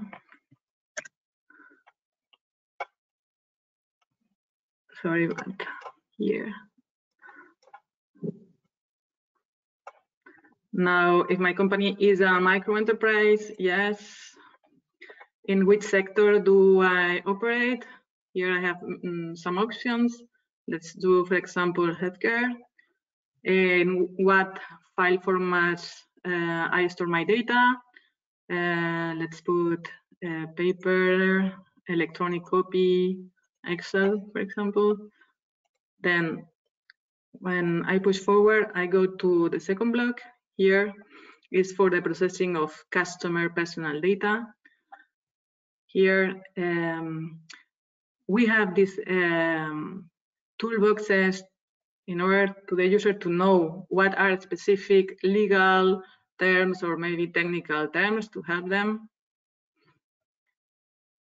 Here, if I have a different format than an SCV or Excel, I can here export my database to CSV with some tutorials for customers, let's say, uh, yeah.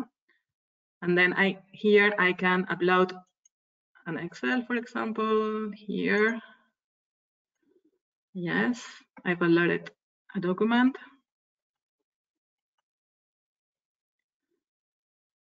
Which type of data do I collect? I will say contact information. Where did my company get the data from? directly from the individuals.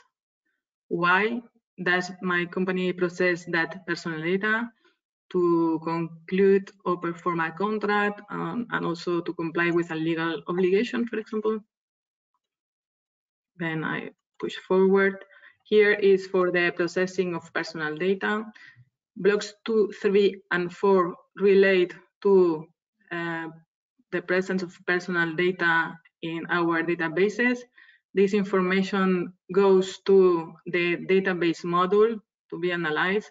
In order to not to do this test very long, I will put no because the questions are quite similar for these uh, three blocks, but just uh, changing the the third party. Then here for uh, suppliers personal data, uh, I would say no. Then pushing forward, I go to the fifth model that is for the website and mobile app. Uh, if my company owns a website and mobile, I would say yes, both, only a website, only a mobile app, on neither of them. I would say yes, both. Then here I provide the URL.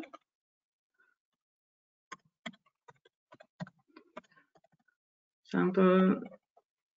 If I use uh, cookies, I, I will put yes.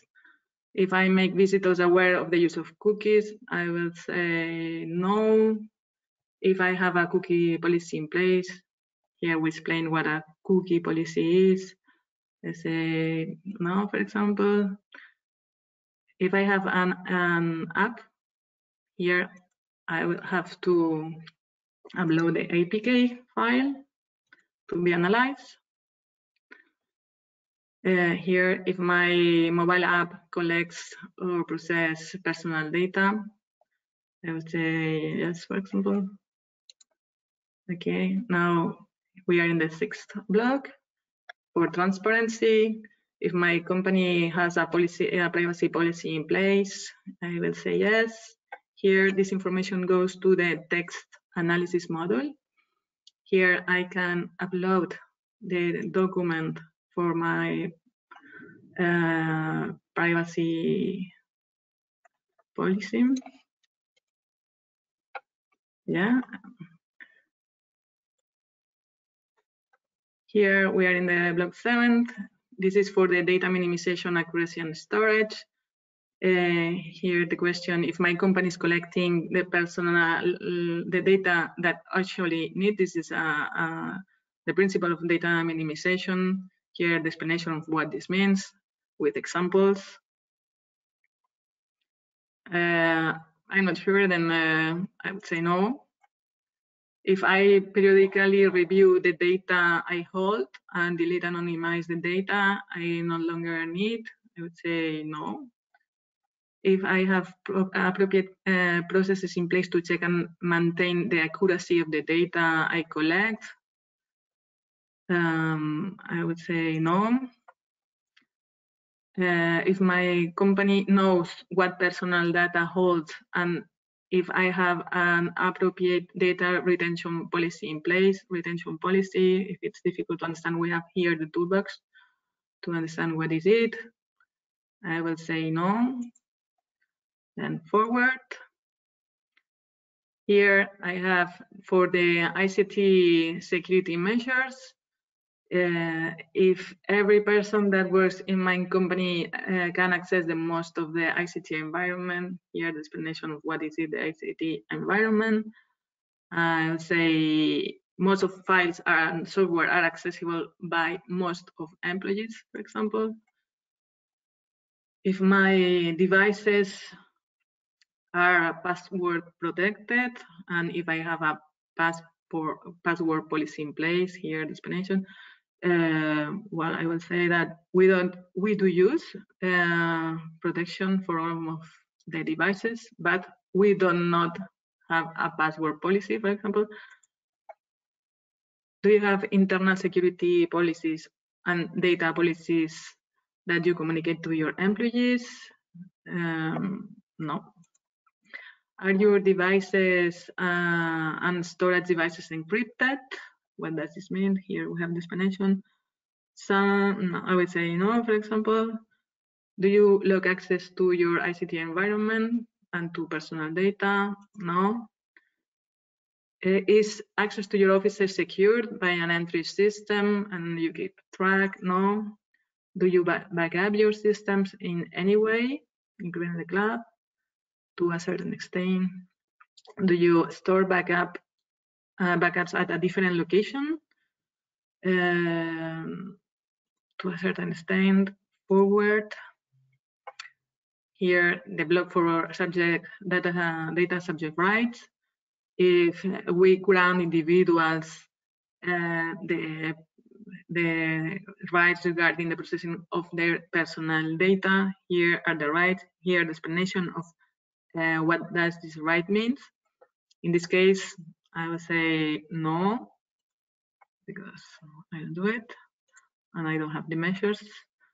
If I keep evidence uh, documents of all the steps I take to comply with the GDPR, then I will say no because I don't know what steps they are. Then when I click finish, here now all the information, the contextual information together with the analysis of the um, different files and documents that has been have been uploaded start. This is a process that can last between 10 minutes to um, maybe an average of half an hour. Once uh, it's finished, uh, the system automatically generates a compliance report that is sent to the email that the user has previously filled in in the login page and can also go back here and download it because it will be appearing a download button for for uh, the compliance report in PDF. Um, we have also, let me see can be shown. We have also an admin page in order to control all the activity in the platform where we can see if a given user uh, have uh, completed the, the report and have asked the data module or the text module or the cookie module to, to run. And if there is any bug, we can detect them. We cannot see the files uploaded, but we can, uh, with this uh, admin page, help them in case there is a, a bug in the in the process. Now I will try to find to to show uh, an example of of uh, compliance report. Uh, could someone tell me if uh, it is shown? Can it be seen my my my, my screen with the report? Eva, maybe, could you please confirm? If I see your screen? Can you see the report, please? Yes, I do. The GDPR Ah, user. Yeah, Yes. ju- just to make sure, because I, I'm changing many times the. Thank you, thank you. Well, th- this is a sample of what uh, the result is. Here we have uh, the general disclaimer uh, saying that this is for not very risk uh, processing. Coming from the first uh, block for general business information. In that example, uh, the platform detects that it's likely that we are involved in high risk processing. And this means that mm, we might require uh, extra safeguards to, to take. We have a link. Sorry, may I interrupt you? Uh, just one second. Uh, this we are seeing the GDPR user report that is not maybe the compliance report that you wanted to show. The report, no? The, the compliance report is what you see, right? No, we are seeing the GDPR user report, so that I don't see is the same that you want to uh, we are seeing the administrative pay, admin page from Ah, okay. the platform. Then could you please give me back the control so that I can appoint to, to here? Yes, just give me a second.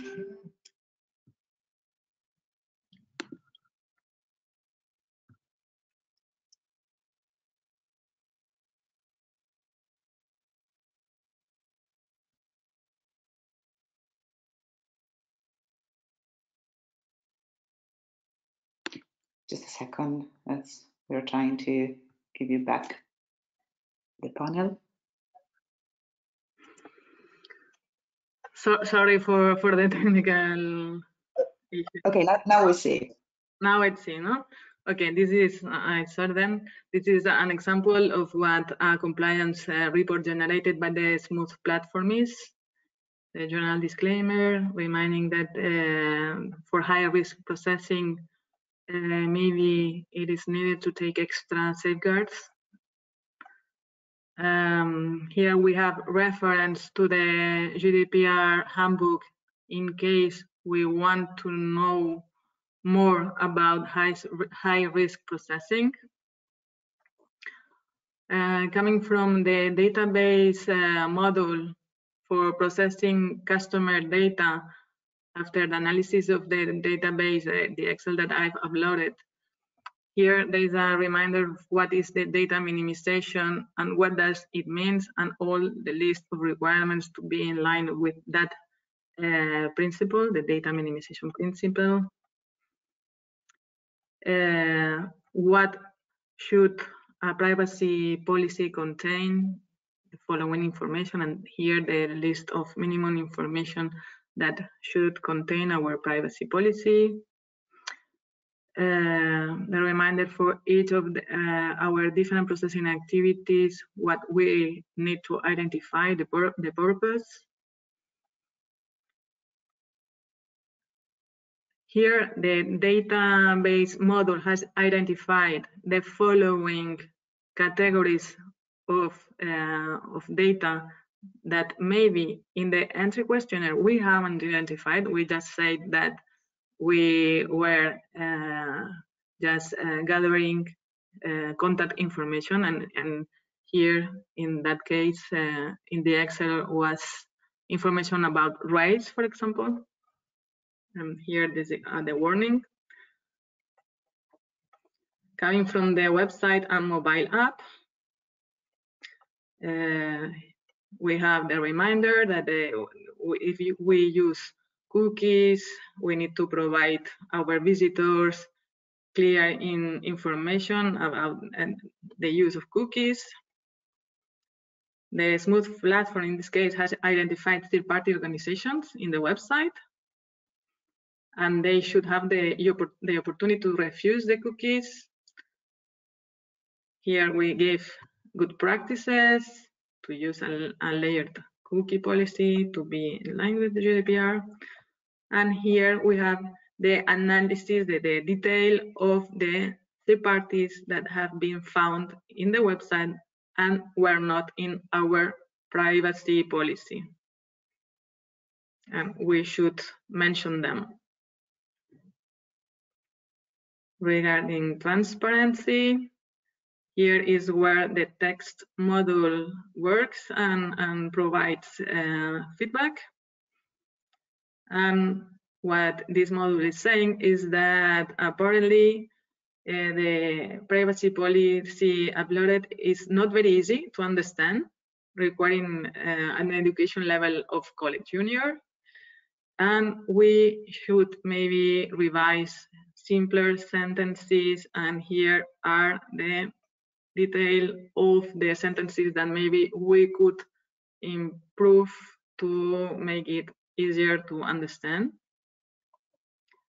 Coming from the data minimization block, here some recommendations to review regularly personal data we hold, to delete and anonymize that data if we no longer need it, from the ICT security block, this is what uh, the system found, that we have a long trip to reach a good uh, security environment.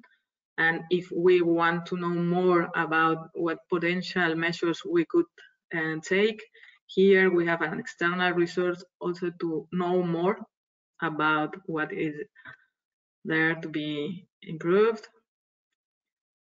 Regarding data subject rights, as I said that I was not uh, sure or I didn't know what they were and if I could provide them, here is the list and the recommendation to take the necessary technical and organizational measures to guarantee that uh, requirements and rights.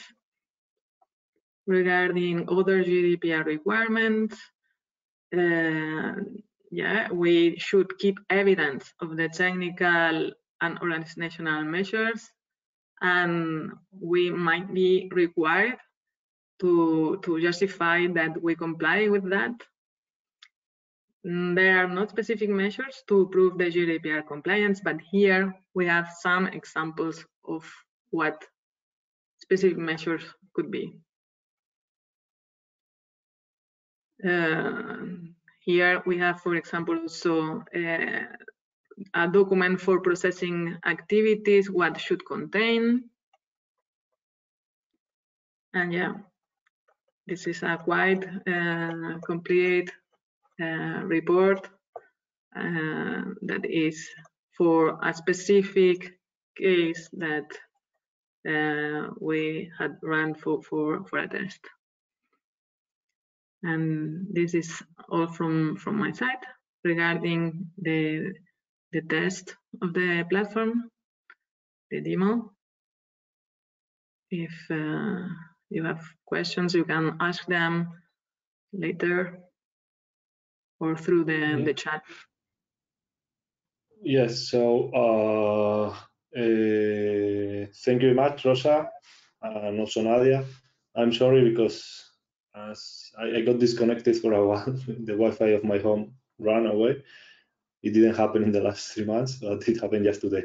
So uh, as as uh, Rosa and Nadia said, we are uh, receiving uh, the question you are making, and and will uh, will uh, keep and will answer all of them in the Q&A session at the in the Q&A session after after the next the next uh, slot. Okay, so please uh, keep uh, providing and keep making us question, and all the experts. I'll I'll send the question to the right speaker, and and you will get all the all the all the answers.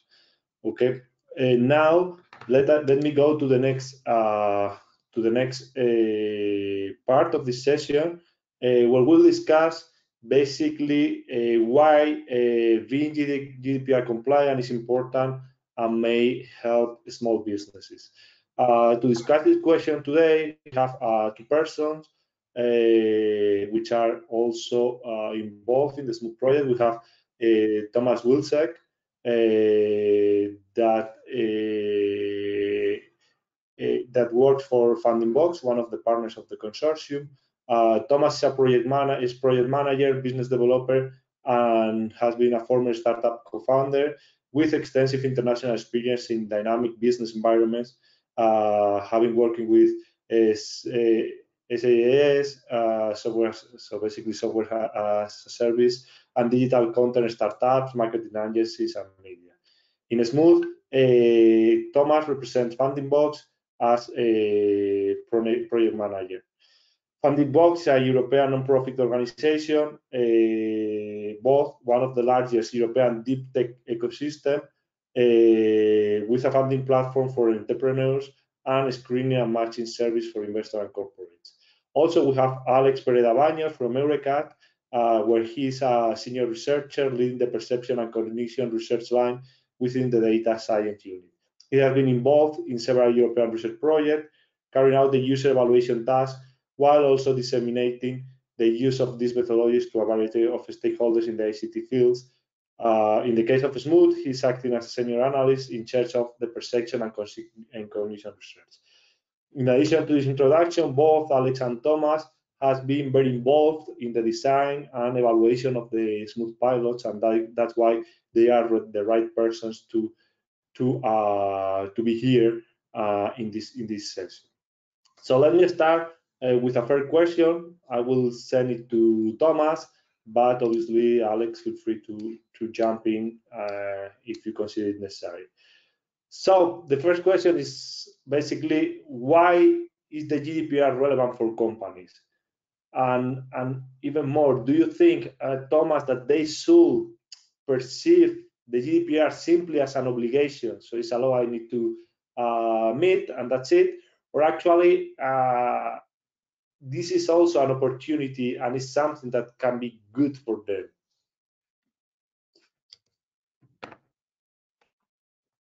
Thank you, Angel. I'm trying to share my screen with you because, of course, we have prepared some uh, slides to actually uh, help illustrate some of our uh, of our comments. Um, I'm struggling to uh, be very honest to share. Uh, could you please give me uh, the possibility to share again, and we can then carry on. yeah. Okay.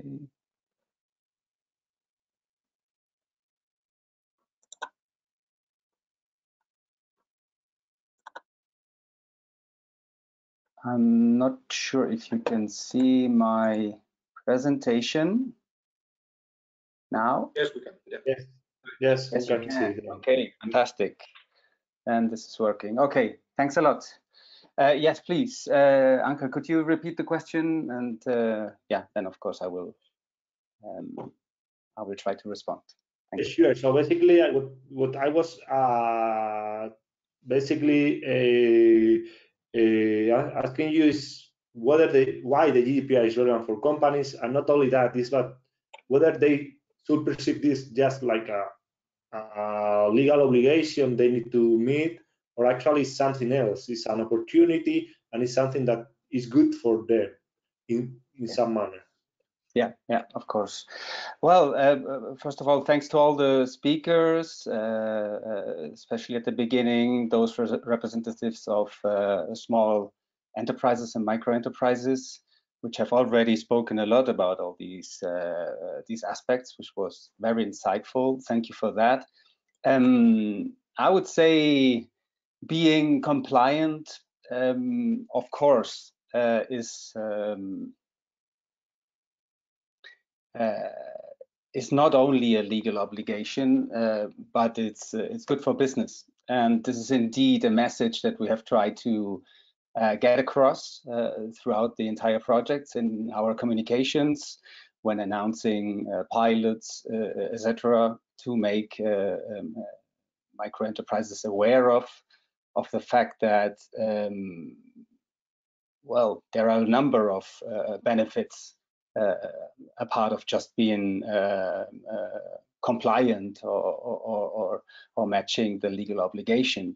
Um, let me just point out three um, for now, which would be in the first case, it reinforces the microprice's brand's reputation. Um, um, as I say here, by showing to your customers a reliable data governance system and that you care I mean, we have to be aware that we are in a new paradigm, um, especially now with COVID, but even before already, uh, where citizens are empowered, citizens, users, customers, uh, um, however you want to call them, um, they are aware of uh, their data, of their rights. Um, they are aware of big uh, tech giants using the data uh, for their advantage, the best business models around it. So uh, actively showing that uh, you are uh, GDPR compliant and that you care about the data of your customers uh, is indeed uh, added value, added value to any of your services or of your products. And if you do it well, well and proactively, it will it will help. So there's definitely a shift in perception in general in the in the in the digital sphere, I would say.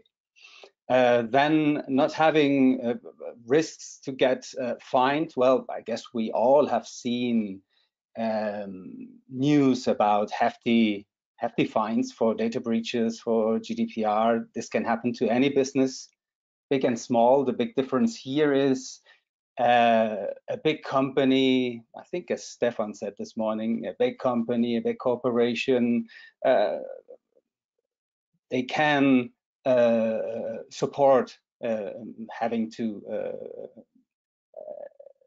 uh, support a fine of this of, of of this magnitude.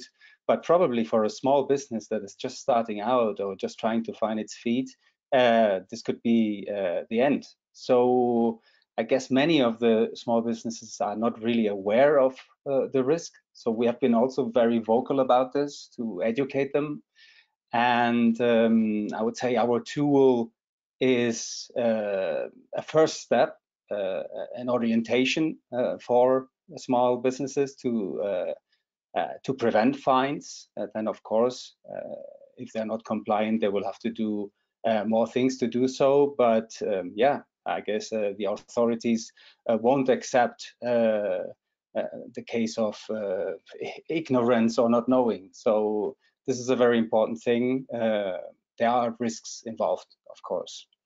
Um, and lastly, uh, give your business uh, the chance to cut costs? Well, um, especially a compliance report like ours and our tool and our handbook is like a first touch point, I would say, uh, to help a small business to get uh, its house in order uh, in a way, to to help small business owners to be aware of what the structure is, the data structure they're working with, and how they can improve that? How can they streamline it? Uh, what can they get rid of? Uh, what do they need? And in the long run, uh, probably this will be this will save them money uh, in terms of well, server capacity or, or time, simply time investment. So yeah, I think these three are are, are quite important. Um, let me just carry on because these three themes, as I said, we have used them a lot um, during the communication of the pilots. And there is still a pilot ongoing, uh, and I would like to use the uh, the occasion, the opportunity here. Um, Rosa has, uh, of course, already mentioned shortly um, uh, the pilot, the market pilot that is uh, running at the moment, but uh, her focus was more on explaining actually the platform and how it works, the different questionnaires. So let me just very quickly give you a quick update so you can you can actually, well, we invite you to still participate. It runs until the end of the month and we are keen to get as much feedback as we can on the tool which uh, so uh, we can also get it ready uh, for the time after after the project ends.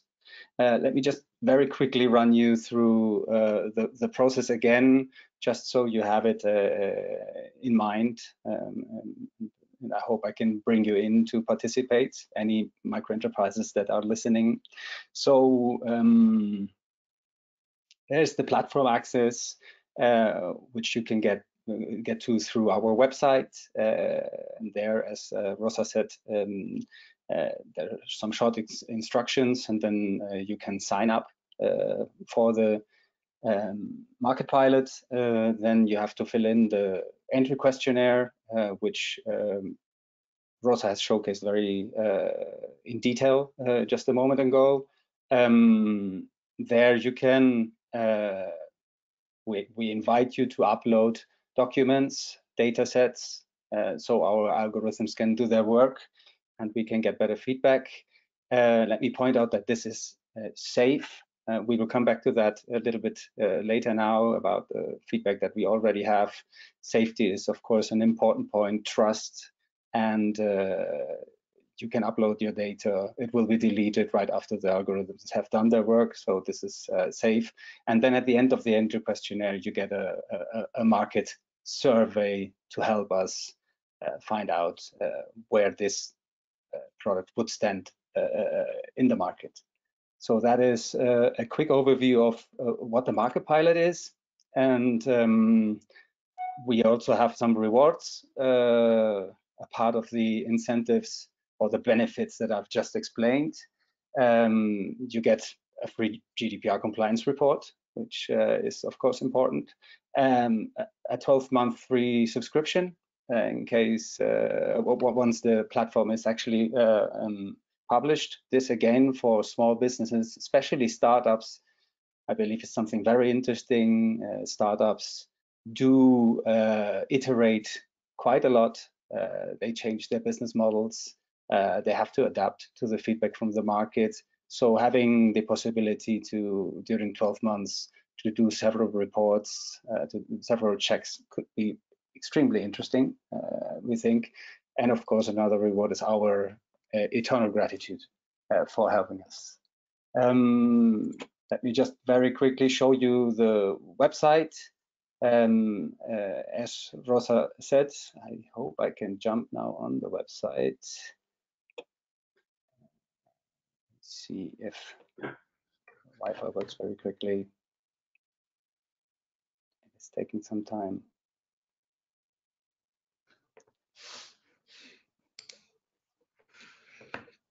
I guess I can go back since uh, Rosa has already uh, explained before how to access. You just go to our Smooth website. You see the uh, link here, and it has already been posted quite a lot on uh, our chat as well.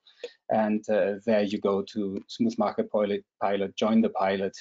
You will see the instructions. You fill in uh, the sign up form, and then you are part of the pilot, and you can do everything I've just explained.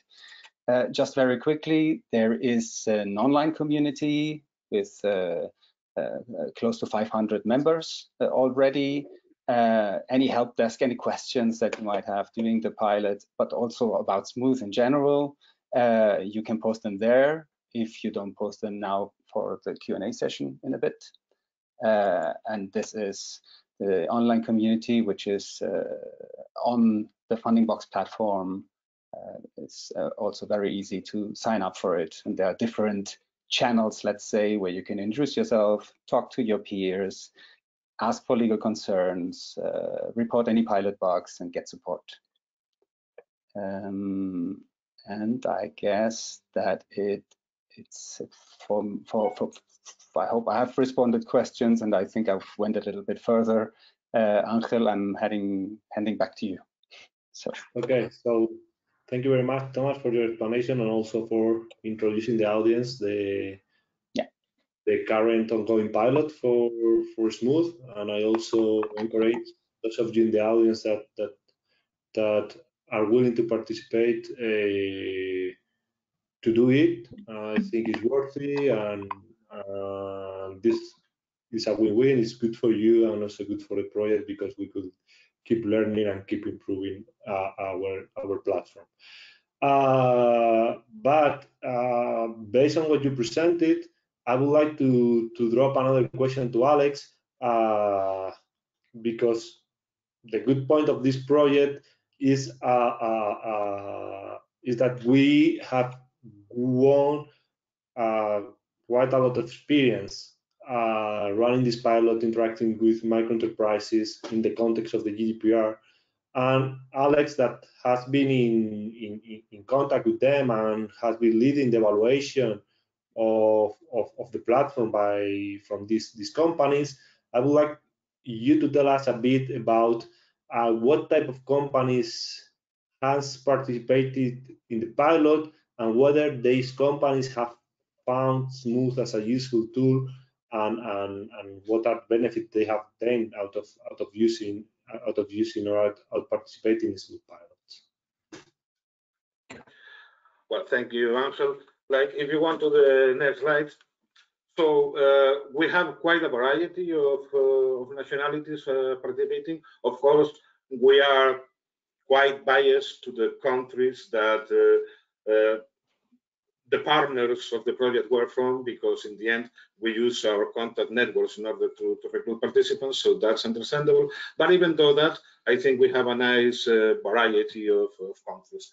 And if you go to the next slide we see that the that um, see that uh, a variety of businesses applied in principle to the to the validation process, uh, but uh, it's it's obvious that whatever the priority of GDPR for for these MENTs was at the beginning of, of our project, during the last year, this has lowered down a lot in priority. So it has been very, very, very difficult to to get uh, meant to, to participate in the pilot, even though uh, we achieved the, the minimum uh, number that that we wanted to achieve.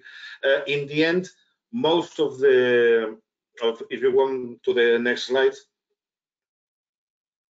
well, this one is interesting as well in terms that most of our MENTs are, are really are really MENTs like with less than than 10 employees. We had many many cases indeed of one company uh, uh, or one sorry or one person companies.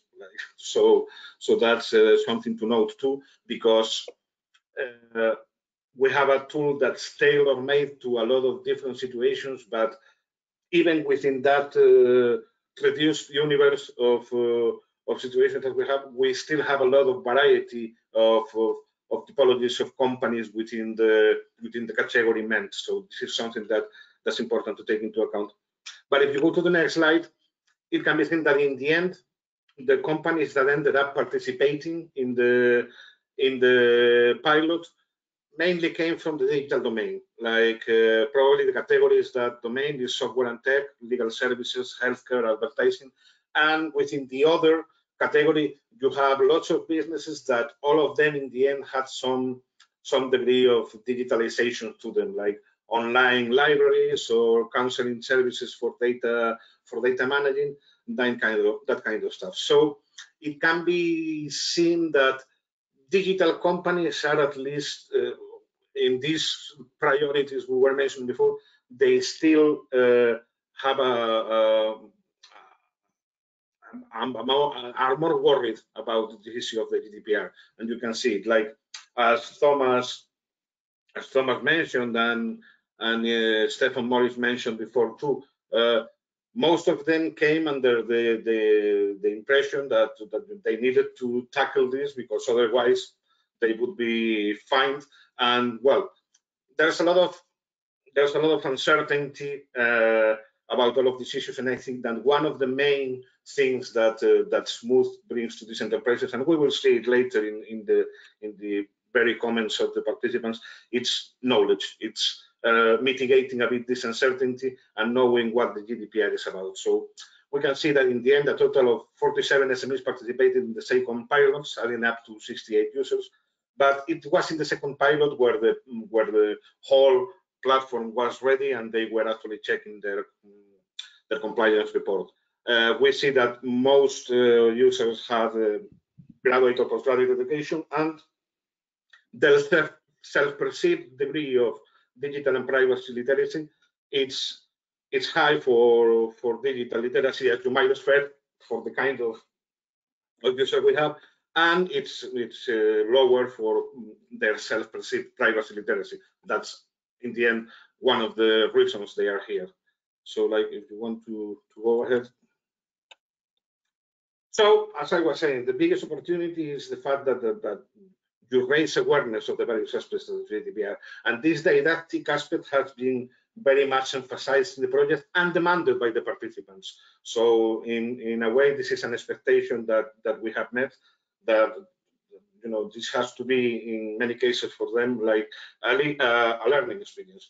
Uh, participants generally understand the questions and recommendations of compliance reports, but there's a lot of struggles with legal parlance. Uh, and of course, another, I, I could share that with them because I am not an expert on on data management myself, and um, sometimes, you know, for at least half of these participants were tested on an online session with me where we were discussing their interaction with the platform online. And sometimes it's, it's you have to be with them that even when there is an explanation of the term legal parlance, of course, uh, it's not something that the that you know the, the layman is always able to, to process.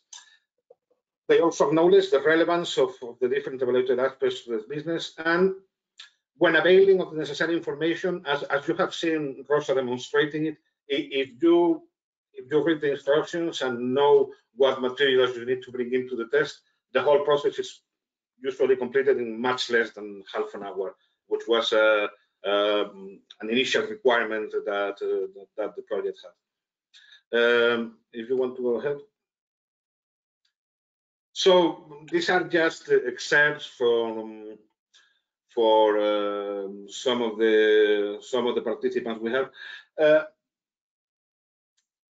people usually have reasonable expectations about uh, what what Smooth can provide them, and as you will see, they appreciate the the fact that after interacting with the platform, they really are much more knowledgeable about what GDPR is about and how it affects them.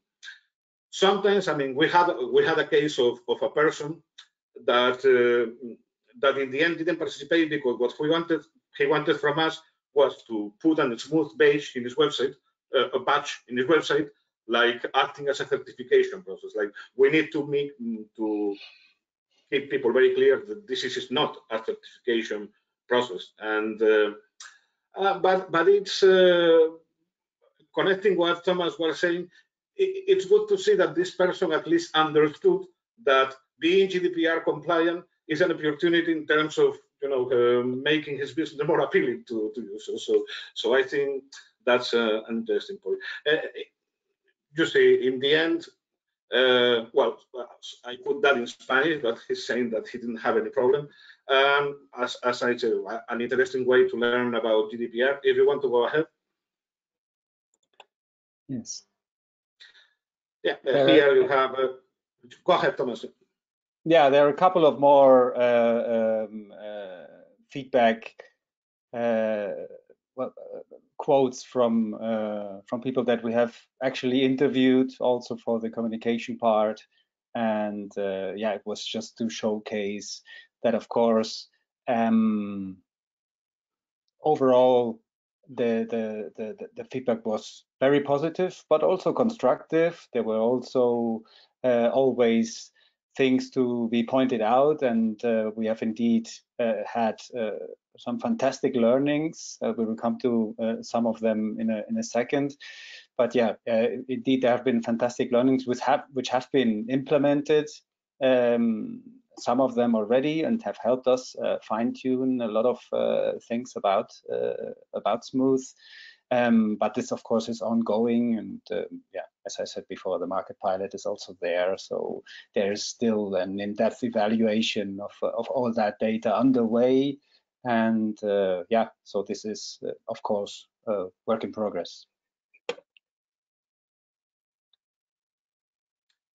So yeah, like uh, like as as you are saying, uh, uh, usually in during the validation process we collected both quantitative and qualitative feedback, and usually what you get from the quantitative feedback is it's more like uh, an alarm signal that something is going very wrong. So in that respect, well, that feedback was always very good. it, it is in the qualitative feedback where people uh, tell you about the the things they they they like to see improve.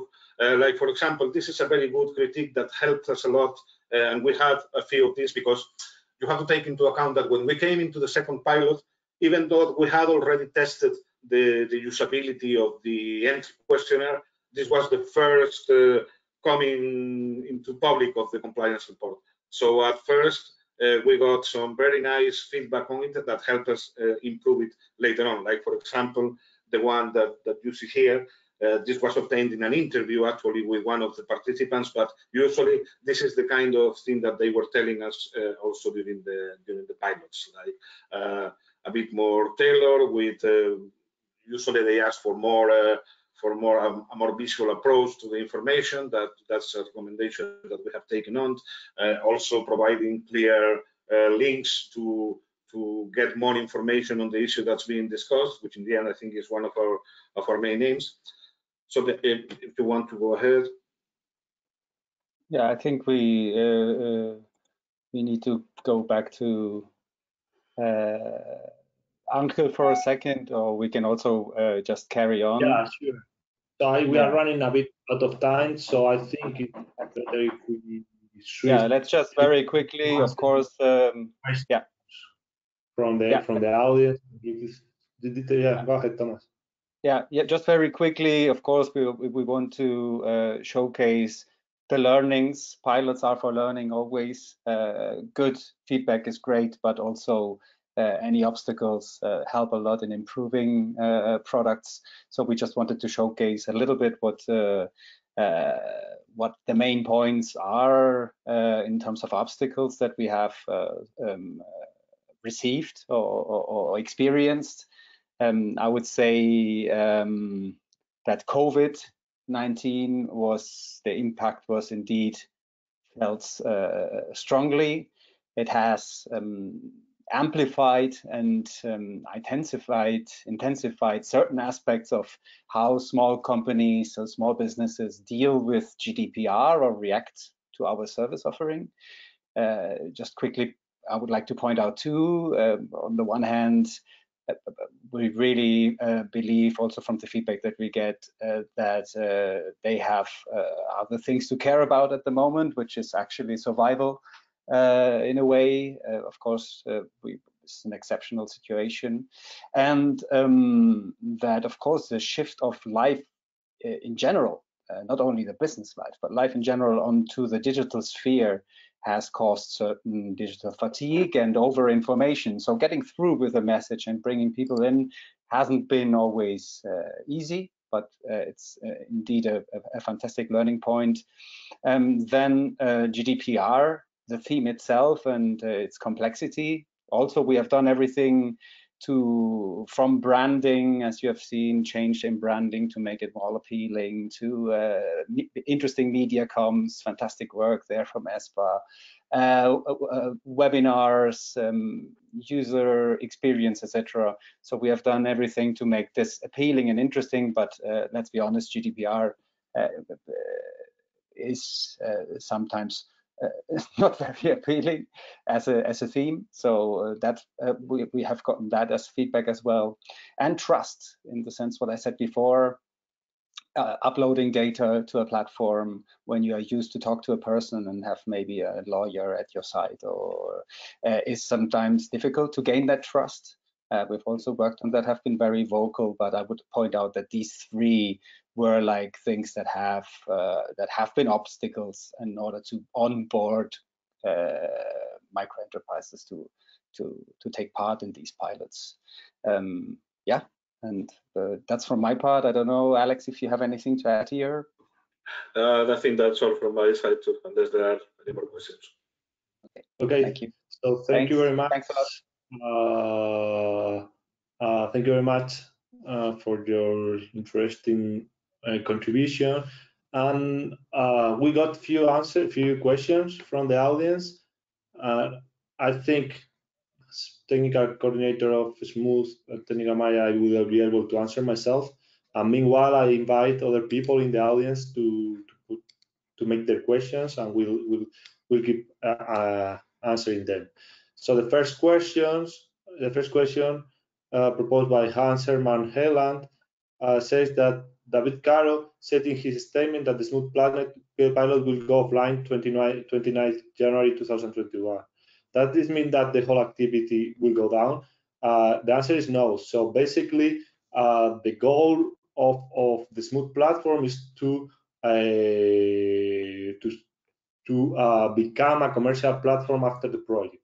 So obviously, while you participate in the in the in the in the pilot, and if you decide to join the pilot, that's some benefits that uh, Thomas uh, that Thomas just just uh, saw in the in the slides.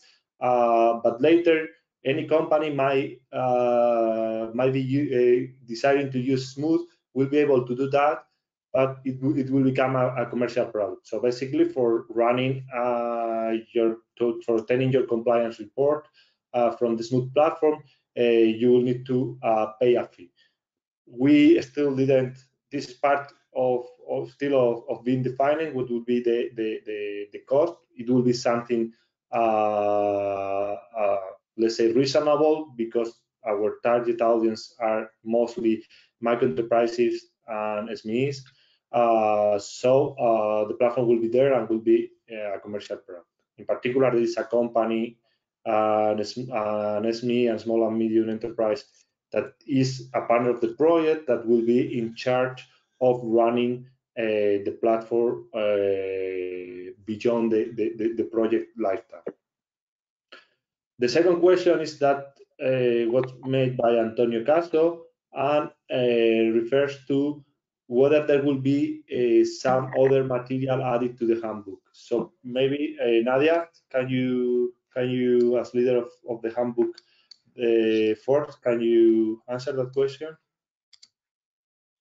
Can you repeat that, please, Angel? Yeah. Because I didn't, I didn't. Antonio get Castro is asking whether we plan to add some extra material to the handbook. All right. Okay. Well, actually, I think we can consider most of the content final because otherwise we will have to keep updating. But uh, in case we would see something that's really, really important, I think we can still add it, but it's not scheduled for now. But let's say there's a decision which changes something that's really important, we, we should do it because for now the project is still ongoing.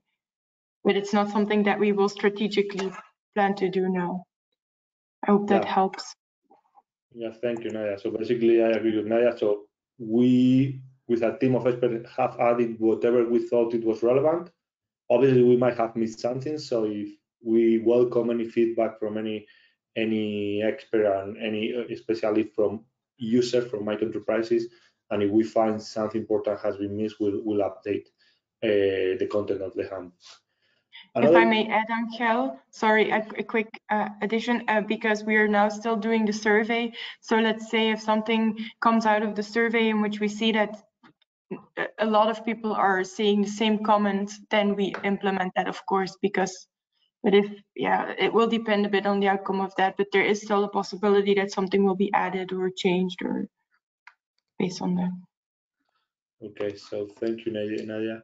So there's another question that's coming from uh, Maya Radisic uh, that say, hi, can an organization other than micro, small, medium-sized enterprises such as non-for-profit non, uh, organization research institutes join the Smooth Market Pilot?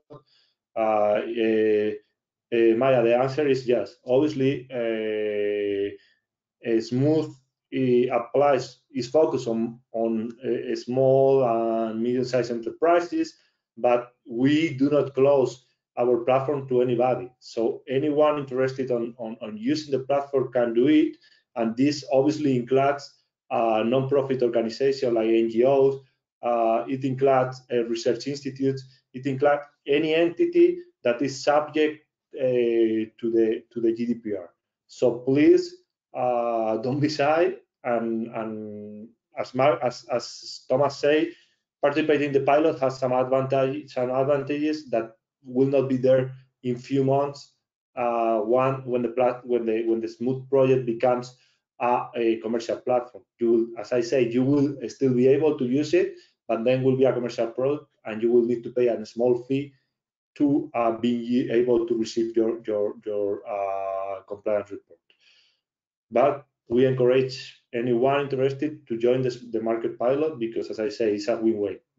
We win, we as a project win because we get your feedback and we get more information to improve the platform towards the final commercial delivery, and you on your side get uh, the advantages uh, Thomas. So obviously the compliance report, one one year free subscription, etc., etc.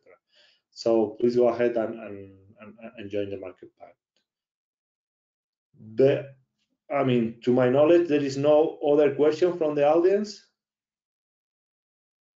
I don't know if someone else is still missing something or wants some clarification about any of the content that has been uh, presented during this, this conference. Otherwise, uh, if there's no uh, more question, I'll I'll give the floor to to uh, Rosa uh, to wrap up the conference, and and I close the, the session. So thank you very much, everybody that was attending. Thank you, Angel. The floor to to to Rosa.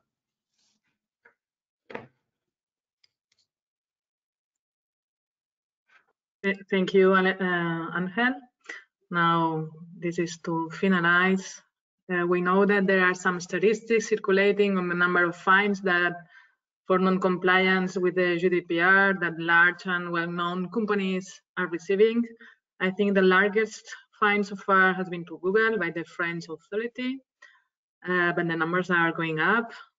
Data protection authorities are showing that are ready to tackle GDPR violations with high penalties. For example, the Spanish uh, DPA recently this month has fined CaixaBank with 6 millions for insufficient legal basis for data processing and also another one to Vodafone. What we wanted with Smooth was to help uh, micro enterprises, making them aware of their responsibilities and obligations with the existing regulation and assess their level of compliance, not only to avoid the economic consequences in case of breach, but also to increase their client confidence. Uh, and in parallel, to safeguard the privacy and security of the European citizens. It is true that to simplify legal terms such as, for example, legitimate interest assessment, legal basis for processing, right to data portability, or technical terms uh, such as accuracy of the data, security measures, data breaches is not simple. And requires the user to have the time and effort to be willing to learn and control the whole process of data management within their normal activity workflows. This means monitoring the data they might manage from the moment they collect it until how they record it and maintain mm, the data. Although it has been a difficult challenge, we hope that we have contributed with these three main results of the project, the platform, the handbook, and also the GDPR guidelines for micro enterprises coming out of the CEN workshop agreement to make the companies uh, more aware of the type of data they handle and to know what they have to do with this data to be in line with the GDPR. And thank you very much on behalf of all the consortium if you want to know more about the Smooth, please go to the Smooth website or Smooth social media and get in contact with us. I hope you have enjoyed this session, this quite complete session. And thank you, thank you very much and take care. Bye.